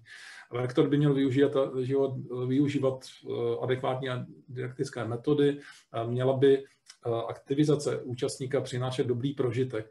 A eh, co je podstatné, aspoň eh, jestli já zase smím říct svůj vlastní názor, že aktivizace toho účastníka souvisí s motivací. Že pokud není motivován, tak může účastník, tak můžete motivovat, jak chcete. Pojďme se podívat, prosím, tě, prosím už jsme skoro na konci, na šesté kritérium. Lektor pozitivně ovlivňuje účastníka v dosažení plánovaného cíle. Tady je to hodnocení vlastně číselné celkem, řekněme, vysoké. Byl tady v té debatě hodně zdůrazněna, zdůrazněna reakce lektora, aby prostě lektor byl schopný během toho vzdělávání adekvátně reagovat podle toho, jaký, jaký účastníci se mu vlastně sejdou. A poslední, eh, co jsme stihli eh, i prodebatovat, je sedmý, sedmé kritérium, eh, že lektor propojuje teorii s praxí. Tady si můžete i přečíst ten, ten zápis té debaty. Lektor s účastníky pracuje tak, aby uváděli první kroky v praxi. Důležité je v praxi přenést praxi přenést do každodenní činnosti. Jde spíš o to, aby, aby ten lektor, eh, promiňte, aby ten účastník od toho lektora odcházel s tím, že to, co se dověděl, opravdu použije. Že, že eh, správně eh, kolegové se zdůraznili, že při vzdělávání nejde jenom o ten vzdělávací akt nebo o ten seminář třeba nebo kurz, nebo jak to nazveme, ale že to má jakousi přípravnou fázi a také jakoby po, té, po tom vzdělávání, že to je snad i důležitější. Jestli ten člověk si opravdu odnese na to, co si od nás chtěl a jestli to fakt potom použije. Eh, a eh, s, hovořili jsme o jakémsi zážitku eh, z, z toho tématu, osob, o osobním vkladu toho účastníka. No a protože už jsme víc nestihli, tak už jsme potom jenom v rychlosti prošli, projeli to, co jsme nestihli a z nich jsme tak jako s proměnutím na první na první škrt, tak jako z, z, rychle uh, si sami pro sebe vypíchli, které z těch kritérií uh, považujeme za tady z tohoto výčtu za nejdůležitější a došli jsme, došli jsme tady k té osmičce, že lektor vytváří a udržuje pozitivní a bezpečné klima, protože pokud to tak není v té skupině vzdělávané, tak, eh, tak se prostě vzdělává velmi špatně. A potom, jestli mě paměť neklame, jsme eh, tady vypíchli tu 14. Respektuje, rektor respektuje cíle vzdělávacího programu. Protože stanovit si cíle je, je dost těžké a nesmírně důležité, v podstatě naprosto bazální a zásadní. Tak omlouvám se, jestli jsem byl teďka trošku delší než, než ostatní, eh, snad to nevadilo. Tak já s dovolením vypínám sdílení a předávám slovo zase, zase zpátky a paní Plicová. Ještě, počkej, ještě. Takže uh, Děkuji všem moderátorům za vedení pracovních skupin, ještě jednou všem účastníkům za to, jak jste diskutovali, s jakou vervou jsme do toho šli. A je vidět, že tedy, když jsme všechno nestihli, takže se musíme ještě sejít a musíme prostě diskutovat dál. Tak diskutovat dál a prostě práce před námi v našem projektu je velmi, velmi mnoho. Takže ještě jednou moc děkuji. Takže závěrečným bodem dnešního panelu je průvodce systémovým přístupem k DVPP, kde vlastně o takovou poslední část klíčové aktivity kvalita DVPP, kterou vám představí Luboš. Eh, tato část je zaměřena eh, na naše klienty. Jak jsme měla možnost být v pracovní skupině k lektorům, tak jsme se k tomu také tam do toho také dotkli, že vlastně i oni, e, naši klienti, ředitelé, učitelé, mají také svým přístupem často vliv na kvalitu DVPP, přispívají také, k, jsou velmi důležitý e, v tom, jak nastavit ve vzdělávacích institucích to další vzdělávání, další, další vzdělávání pedagogických pracovníků jsou takovým oknem tedy pro nás. Takže Luboši, můžu tě poprosit. Já děkuju. A chtěl bych se zeptat ještě Moniky, jestli, jestli může sdílet eh, prezentaci. A klidně to, klidně to nemusí být hned. Jo, tak jo. OK. A, a já, se, já se k tomu dostanu. To co, to, co říkala už Helena Plicová, že máme ještě jeden pohled, jo, který je možná trošku na první pohled rozdílný od, od toho, co jsme dělali teď. Že je to ten pohled klientský. Jo, my jsme se k němu dostali od, od pohledu ministerstva, od pohledu vzdělávacích institucí, což je to hlavní téma dneška. A ona o tom vlastně mluvila Monika někdy v, v kolem deváté hodiny nebo půl desáté v rámci plánu činnosti klíčové aktivity 5 projektu SIPO, která se teďka rozjíždí. A v podstatě i ve shodě s paní Duvkovou z ministerstva školství. Monika mluvila o záměru ministerstva odbřemenit se od takových těch krátkých DVPP a naopak se zaměřit eh, na priority, co je, co je hodně důležité, co má velký dopad, to znamená na ta kvalifikační studia. A zaměřit se na to, jak zhora, to znamená hodnocením eh, realizace studií ministerstvem, možná akreditační komisí, tak i z pozice vzdělávacích institucí samotných, to znamená prostřednictvím jejich autoevaluace. A ideálně, a na tom jsme vlastně teďka pracovali, na jednom z možných podkladů, ideálně e, na základě stejných a společných kritérií, kdyby se ty instituce hodnotily vlastně na, na stejných věcech, jako pak budou ta studia hodnocena e, třeba akreditační komisí, pokud k tomu dojde a my na to budeme připraveni. A z tohoto já bych teď sestoupil, eh, sestoupil někam jinam a nabídl bych ještě jeden úhel pohledu na kvalitu DVPP, který ale právě už trošku zazněl a zazněl, eh, zazněl v prezentaci kolegů před, před přestávkou. A to je úhel pohledu z pozice, z pozice účastníků, tedy škol. A v této souvislosti, jestli si ještě pamatujete na tu devátou hodinu raní, tak eh, Monika Šimonová použila termín eh, výtěžnost DVPP. A teď o tom vlastně mluvila i, i Helena a i, i se toho dotkl, eh, dotkli kolegové moderátoři v kritériích pro vzdělávací program i v kritériích pro lektora. A pro nás je ta výtěžnost hodně důležitá. Taky jsme sami ředitelé škol, tak jsme proto asi také hodně citliví protože tu, tu výtěžnost my pro sebe, jako ve školách, vlastně považujeme za hlavní znak kvality eh, dalšího vzdělávání. Monika eh, teď eh, pouští tady jeden snímek, jehož jádrem je, je slovo model. A my jsme vymysleli, ale nebylo to jenom z naší hlavy. My jsme vymysleli takový model procesu dalšího vzdělávání pedagogických pracovníků, který by školám pomohl z něj vytěžit zkrátka maximum. A to prostřednictvím různých věcí, různých seminářů a další podpory. A mimo jiné, tou další podporou by měl být také průvodce systémovým přístupem DVPP ve škole. A abychom, abych nemluvil jenom abstraktně, tak bych chtěl Moniku požádat, aby tam dala ten druhý ze dvou snímků prezentace, a, a kde je vlastně uveden ten model, ze kterého my vycházíme. Když se chceme podívat na další vzdělávání optikou výtěžnosti ve škole, tak to vypadá asi tak, jako je to eh, teď namalováno na té, na té obrazovce. A poměrně dlouho jsme, eh, jsme na tom pracovali i na základě podobných diskuzí jako s vámi, akorát to bylo třeba ve stále konferenci ředitelů, nebo to byly nějaké, eh, nebo to byly nějaké rozhovory s vytipovanými řediteli škol, kteří mají takzvaně vychytané další vzdělávání. A já to ještě uvedu takovou otázkou, nebo možná předpokladem, ze kterého vycházíme, kdo je primárně zodpovědný za to, eh, jak se člověk učí, jakýkoliv člověk. A když si na ní odpovíme, a není to jenom, není to jenom z naší hlavy, tak eh, si odpovídáme, že je to právě ten učící se člověk.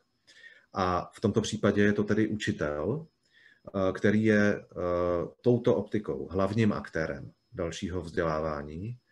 A ten se většinou vzdělává pro své žáky, kteří jsou tedy hlavními klienty. DVPP. My jsme trošku to posunuli, eh, že toho hlavního klienta máme jako ambici vidět vlastně toho žáka, ke kterému by to mělo dotéct, jinak to vlastně nemá smysl. No a uh, učitel se vzdělává s finanční nebo organizační podporou ředitele školy, který je tím pádem hlavním sponzorem DVPP. A teď už se dostávám k vám a může k tomu využít nějaký program od vzdělávací instituce, která v tu chvíli je hlavním dodavatelem DVPP. Takže vidíme tam dodavatele, to jsou vzdělávací instituce, nebo třeba i jiné způsoby vzdělávání. Pak jsou tam sponzoři, což je vedení školy, pak jsou tam hlavní aktéři, což jsou učitelé, a pak jsou tam ti klíčoví klienti, což jsou podle nás žáci. A s tímhletím, s tímhletím jsme se eh, podívali na touto optikou, jsme se podívali na DVPP a eh, začali jsme ho vidět trochu jinak. Začali jsme se na něj dívat eh, nikoliv jako na nějakou izolovanou vzdělávací akci, ale začali jsme se na to DVPP ve škole dívat jako proces. A základem toho procesu je výzkumné zjištění. Je to tady, jsou to tedy zahraniční výzkumy, ze kterých vyplývá jedna klíčová věta. Nebo jedna z klíčových vět vyplývající je, že DVPP účinkuje na výsledky žáků nepřímo. A s tím musíme počítat. Nejprve nějaká ta akce eh, působí na učitelovi eh, znalosti a dovednosti. Potom se projevuje eh, změnou výuky a nakonec dochází ideálně k lepším výsledkům žáků. A my máme zjištěno a víme někdy i z naší praxe, že tato dlouhá cesta často končí předčasně. A právě tě, ty autoři v těch výzkumech, a tuším, že je to nějaký výzkum z roku 2007, ale v tomto stále platí, došli k důležitému závěru, že pokud eh, nějaký prvek toho procesu, který vidíte teď před sebou eh, na monitoru, pokud nějaký z těch postupných kroků je oslaben nebo dokonce absentuje, tak ty účinky programu profesního rozvoje jsou malé nebo dokonce žádné. A proto my máme za to, že eh, když se na to díváme z pozice škol, eh, že cesta ke zefektivnění DVPP eh, vede přes podporu jeho systematičnosti. Když to DVPP vidíme spíš jako příběh. Příběh, který má svůj začátek a který má svůj konec. Na začátku toho příběhu je to nějaký dobrý důvod pro další vzdělávání, neboli vzdělávací potřeby. A na konci jako u každého příběhu je to nějaká pointa. To znamená nějaké projevy toho dalšího vzdělávání ve výuce, potažmo eh, v kompetencích žáků. A eh, jádrem eh, takhle pojaté systematičnosti je právě sdílený pohled na proces dalšího vzdělávání ve škole, který vidíte před sebou. My chceme právě na ty jednotlivé základní fáze, to znamená vzdělávací potřeby, na které jsou navázány nějaké vzdělávací akce. Když se jde ze vzdělávací akce, tak se to přenáší do výuky a pak to má v tom ideálním případu i nějaký dopad.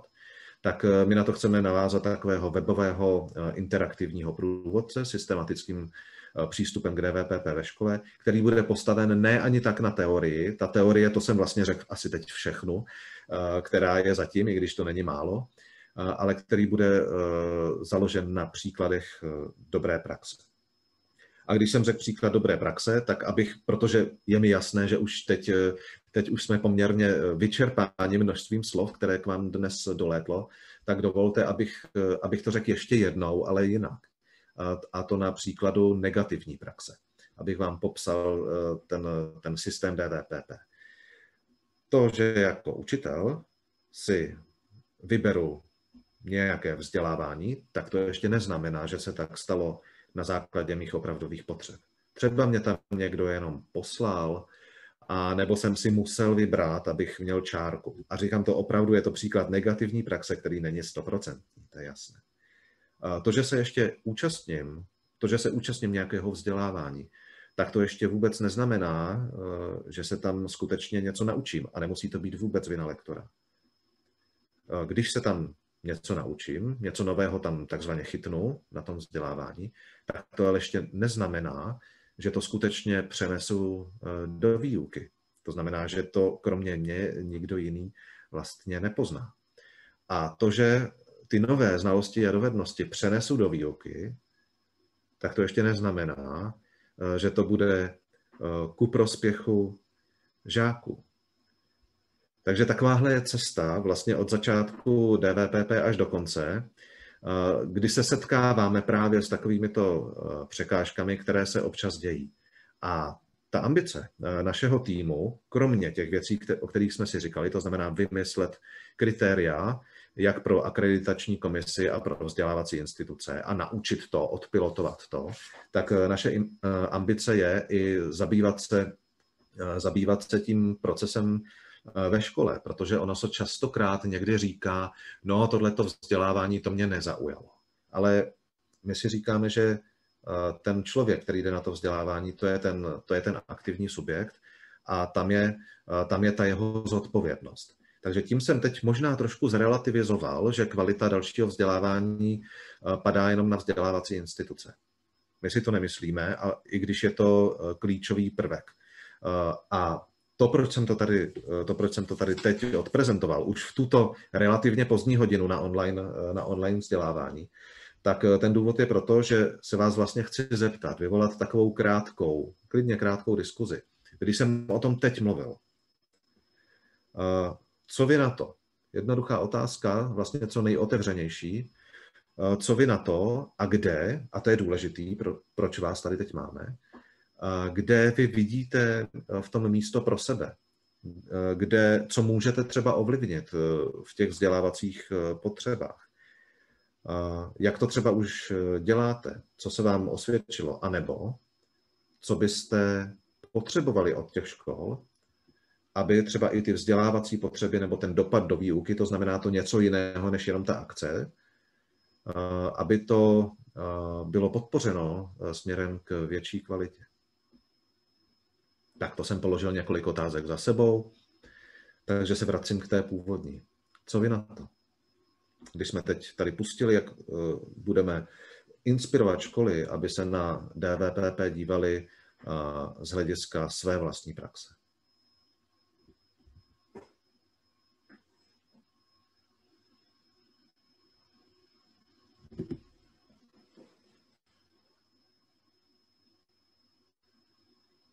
Možná i nějaký pocit, který vám, eh, který vás přepadl, když jsem o něčem, eh, když jsem o něčem mluvil. Typu, hm, tohle je skvělý, anebo naopak. Tady to nemůže fungovat.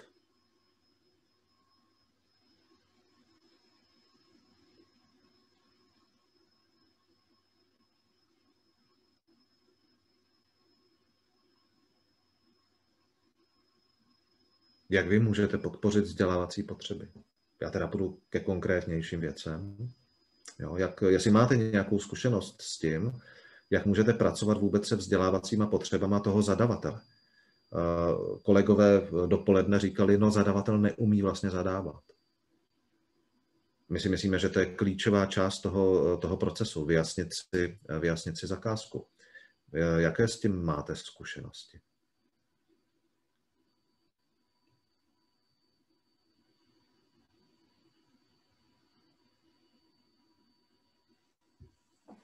Co by vám pomohlo,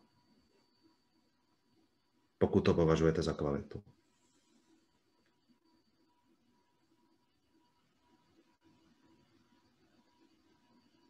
A nebo vás teď třeba napadá úplně něco jiného, ne odpovědi na moji otázku.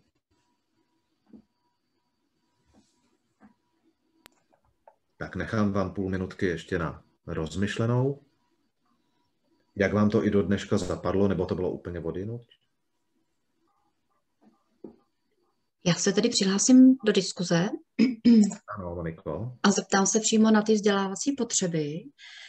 Ono to není úplně jako běžné, že bych jako učitel uměl dobře pojmenovat to, co se potřebuju naučit a když už to zvládnu a umím, ať už pomocí portfolia nebo rozvojových rozhovorů třeba s ředitelem školy, pokud je osvícený a dělá takovéto akce, tak pak třeba nikdy nenajdu uh, přímo odpovídající vzdělávání, které by přesně sedlo na to, co potřebují. Tak to, tohle možná někdy může být i problém. Vůbec znát svoje vzdělávací potřeby, co potřebuju, pojmenovat si to a když už si to pojmenuju, tak třeba nemusím najít úplně vhodný vzdělávací program. Mm-hmm. Díky a já to trošku přesunu ještě tady na naše účastníky a účastnice. Máte nějakou zkušenost třeba s, s nějakým typem škol nebo, nebo s nějakou konkrétní školou, kde tohle opravdu mají dobře vyřešené třeba?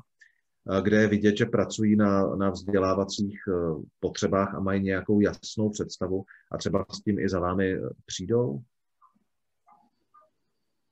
Máte někdo takový příklad dobré praxe? Nebo nás tady čeká hodně práce?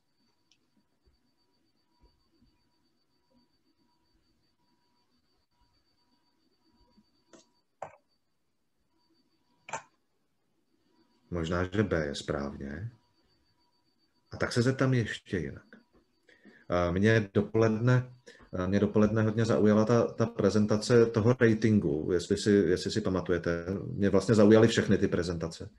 Ale teď, teď, teď mám před, před sebou, před očima se mi vybavila ta tabulka těch, té jedné hvězdičky, která už v tom návrhu, která už hovořila o kvalitě a šlo to nahoru, nahoru, nahoru a pamatuju si, že tuším, že u čtyřhvězdičkové vzdělávací instituce to bylo tak, že je schopná udělat eh, jako program na míru, ale od začátku do konce. To znamená, že vzdělávací eh, že škola přijde s nějakou zakázkou, chceme se naučit tohle a eh, vzdělávačka, když to řeknu úplně, úplně lidově, je schopná jako ten vzdělávací program nadefinovat od začátku až do konce, třeba do evaluace. Chci se zeptat, máte s tím někdo zkušenosti?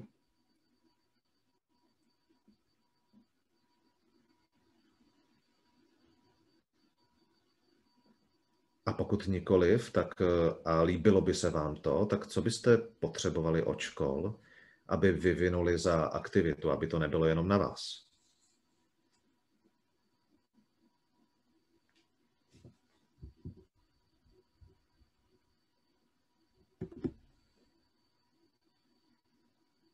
Tak, milé kolegyně a kolegové.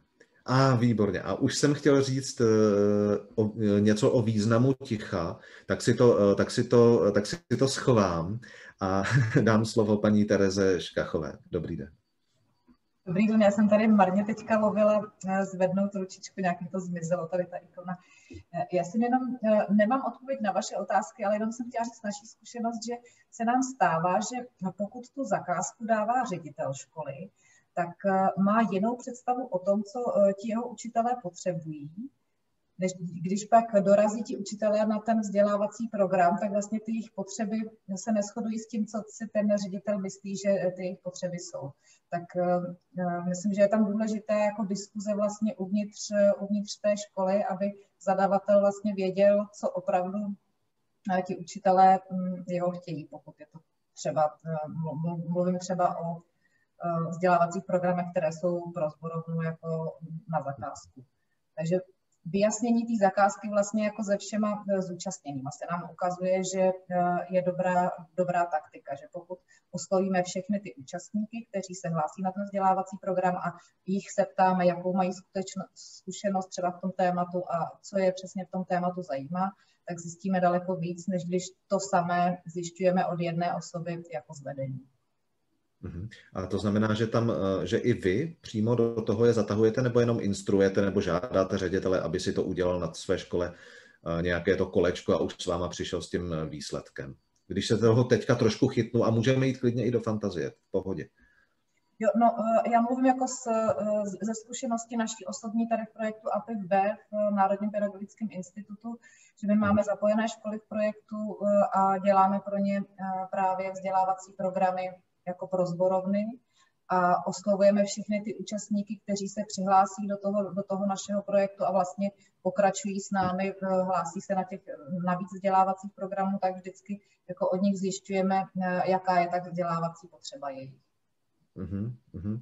Protože se nám stává, že na stejnou otázku jako odpoví ti učitelé jako jinak, než, eh, než pokud jsme, když jsme na začátku projektu dělali takový průzkum, jaké jsou vzdělávací potřeby jako učitelů a ředitelů, tak eh, na stejnou, na otázku, jaké jsou vzdělávací potřeby učitelů, ředitele odpověděli jinak, než na to odpověděli ti učitelé. Jestli jsem srozumitelná, teď nevím.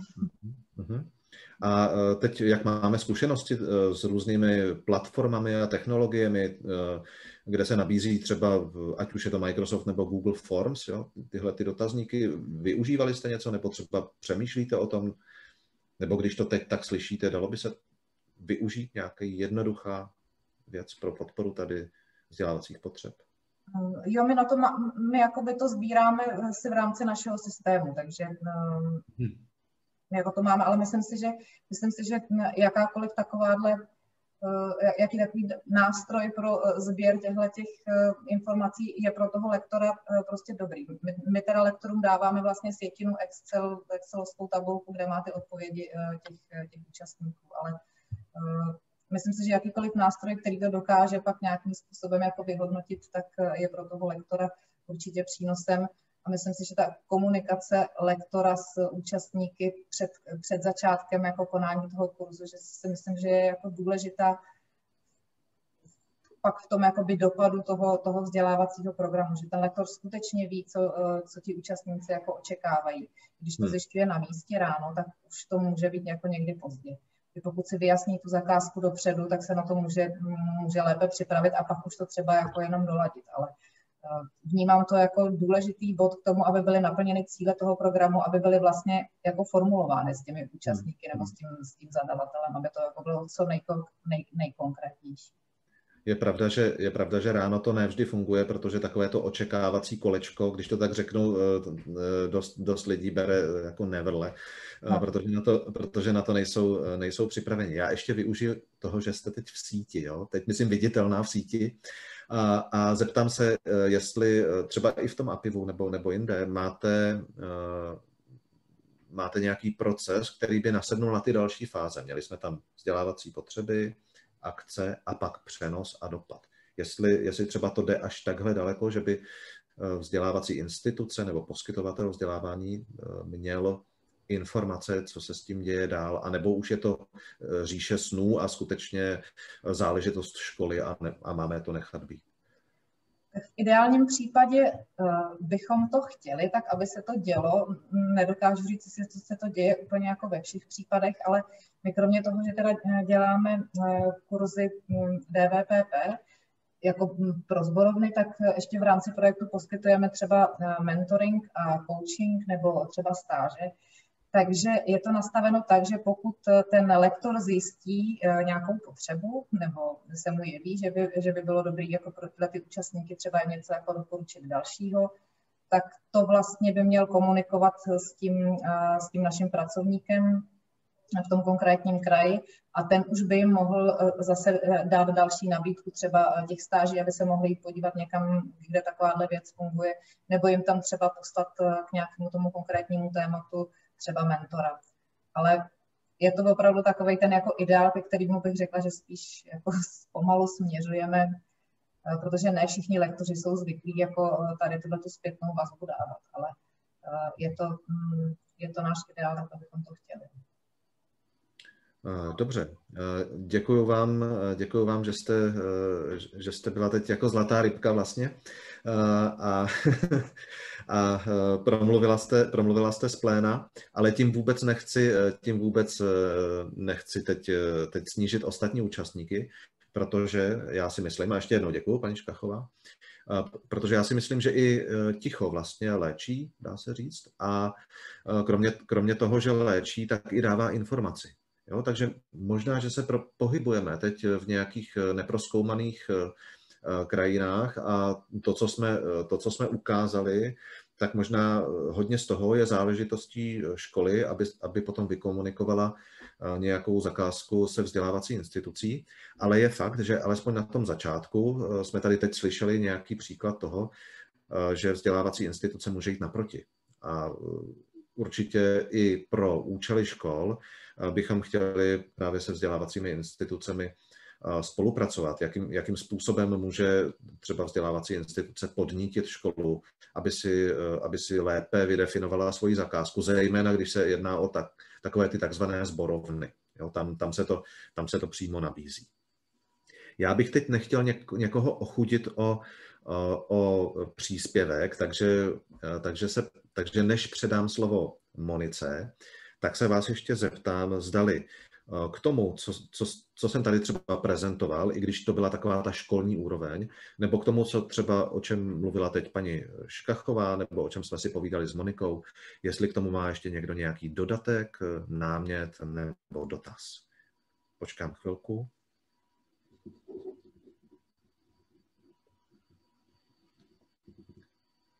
A není-li tomu tak, tak eh, vám děkuji za pozornost, eh, že jste, si, že jste si vyslechli a podívali jste se na ten proces, jak o tom uvažujeme. A předávám slovo Monice. Děkuji, Luboši. Já bych přece možná ještě takový nějaký soukromý vlastní postřeh k těm fázím, které bychom do průvodce chtěli dostat, myslím ty fáze vzdělávací potřeby, akce, přenos a dopad. Domníváme se, že ačkoliv jsou to fáze vymýšlené pro potřeby škol, tak vlastně jsou to i fáze, ke kterým by bylo dobré, kdybyste se dotýkali i vy jako vzdělávací instituce, zejména konkrétně třeba, když budu konkrétnější, tak fáze přenos. Pokud by se podařilo i to, že vy jako instituce byste přemýšleli nad tím, že pokud učitel nepřenese do výuky to, co se naučí u vás, tak je to jako kdyby vlastně nikde nebyl. Takže pokud by se třeba mohlo stát i součástí autovalčních kritérií, podívat se na to, zdali součástí vzdělávací programu jsou nějaké podněty od lektora účastníkům, aby si odnášeli konkrétní věci do své výuky, tak by to bylo skvělé. Mm, jinými slovy, ačkoliv jsme to vymysleli pro školy, tak se domníváme, že je to důležité i pro vás a pravděpodobně se, pravděpodobně se to může zobrazit i v budoucích autovačních kritériích. A samozřejmě kritérium dopad, to je taková zlatá rybka, která je velmi důležitá, všichni o ní mluvíme, ale velmi těžko měřitelná, protože jak už Luboš nastínil, tak tím konečným příjemcem DVPP je vlastně žák. A těžko se pak některé výstupy měří až umějí, ale pokusíme se o to. V tuto chvíli také moc děkuji. Děkuji Luboši za představení této větve a předávám zpět slovo paní Plicové. Děkuji.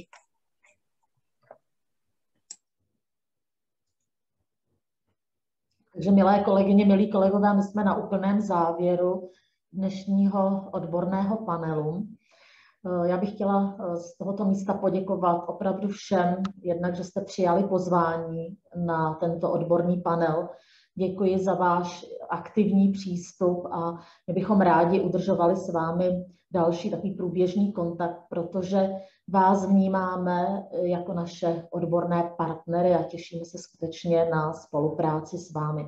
Také bych chtěla poděkovat všem panelistům, kteří tedy se samozřejmě kteří přispěli k úspěšnosti tohoto odborného panelu a věřím, že jste si z panelu odnesli pro svoji práci alespoň něco do toho výjimku. Tak e, do e-mailu, poslední taková tedy organizační záležitost, do e-mailu dostanete odkaz k vyplnění dotazníku jako zpětné vazby našemu odbornému panelu. Je to pro nás velmi důležité, proto prosím, prosíme, abyste nám dotazník vyplnili. A na závěr, asi už řečeno všechno bylo, e, já vám přeju za celý tým této klíčové aktivity krásné léto, prázdniny, dovolenou, hlavně si odpočiňte a hlavně, ať jste zdraví. Mějte se krásně a těšíme se na spolupráci. Naschledanou.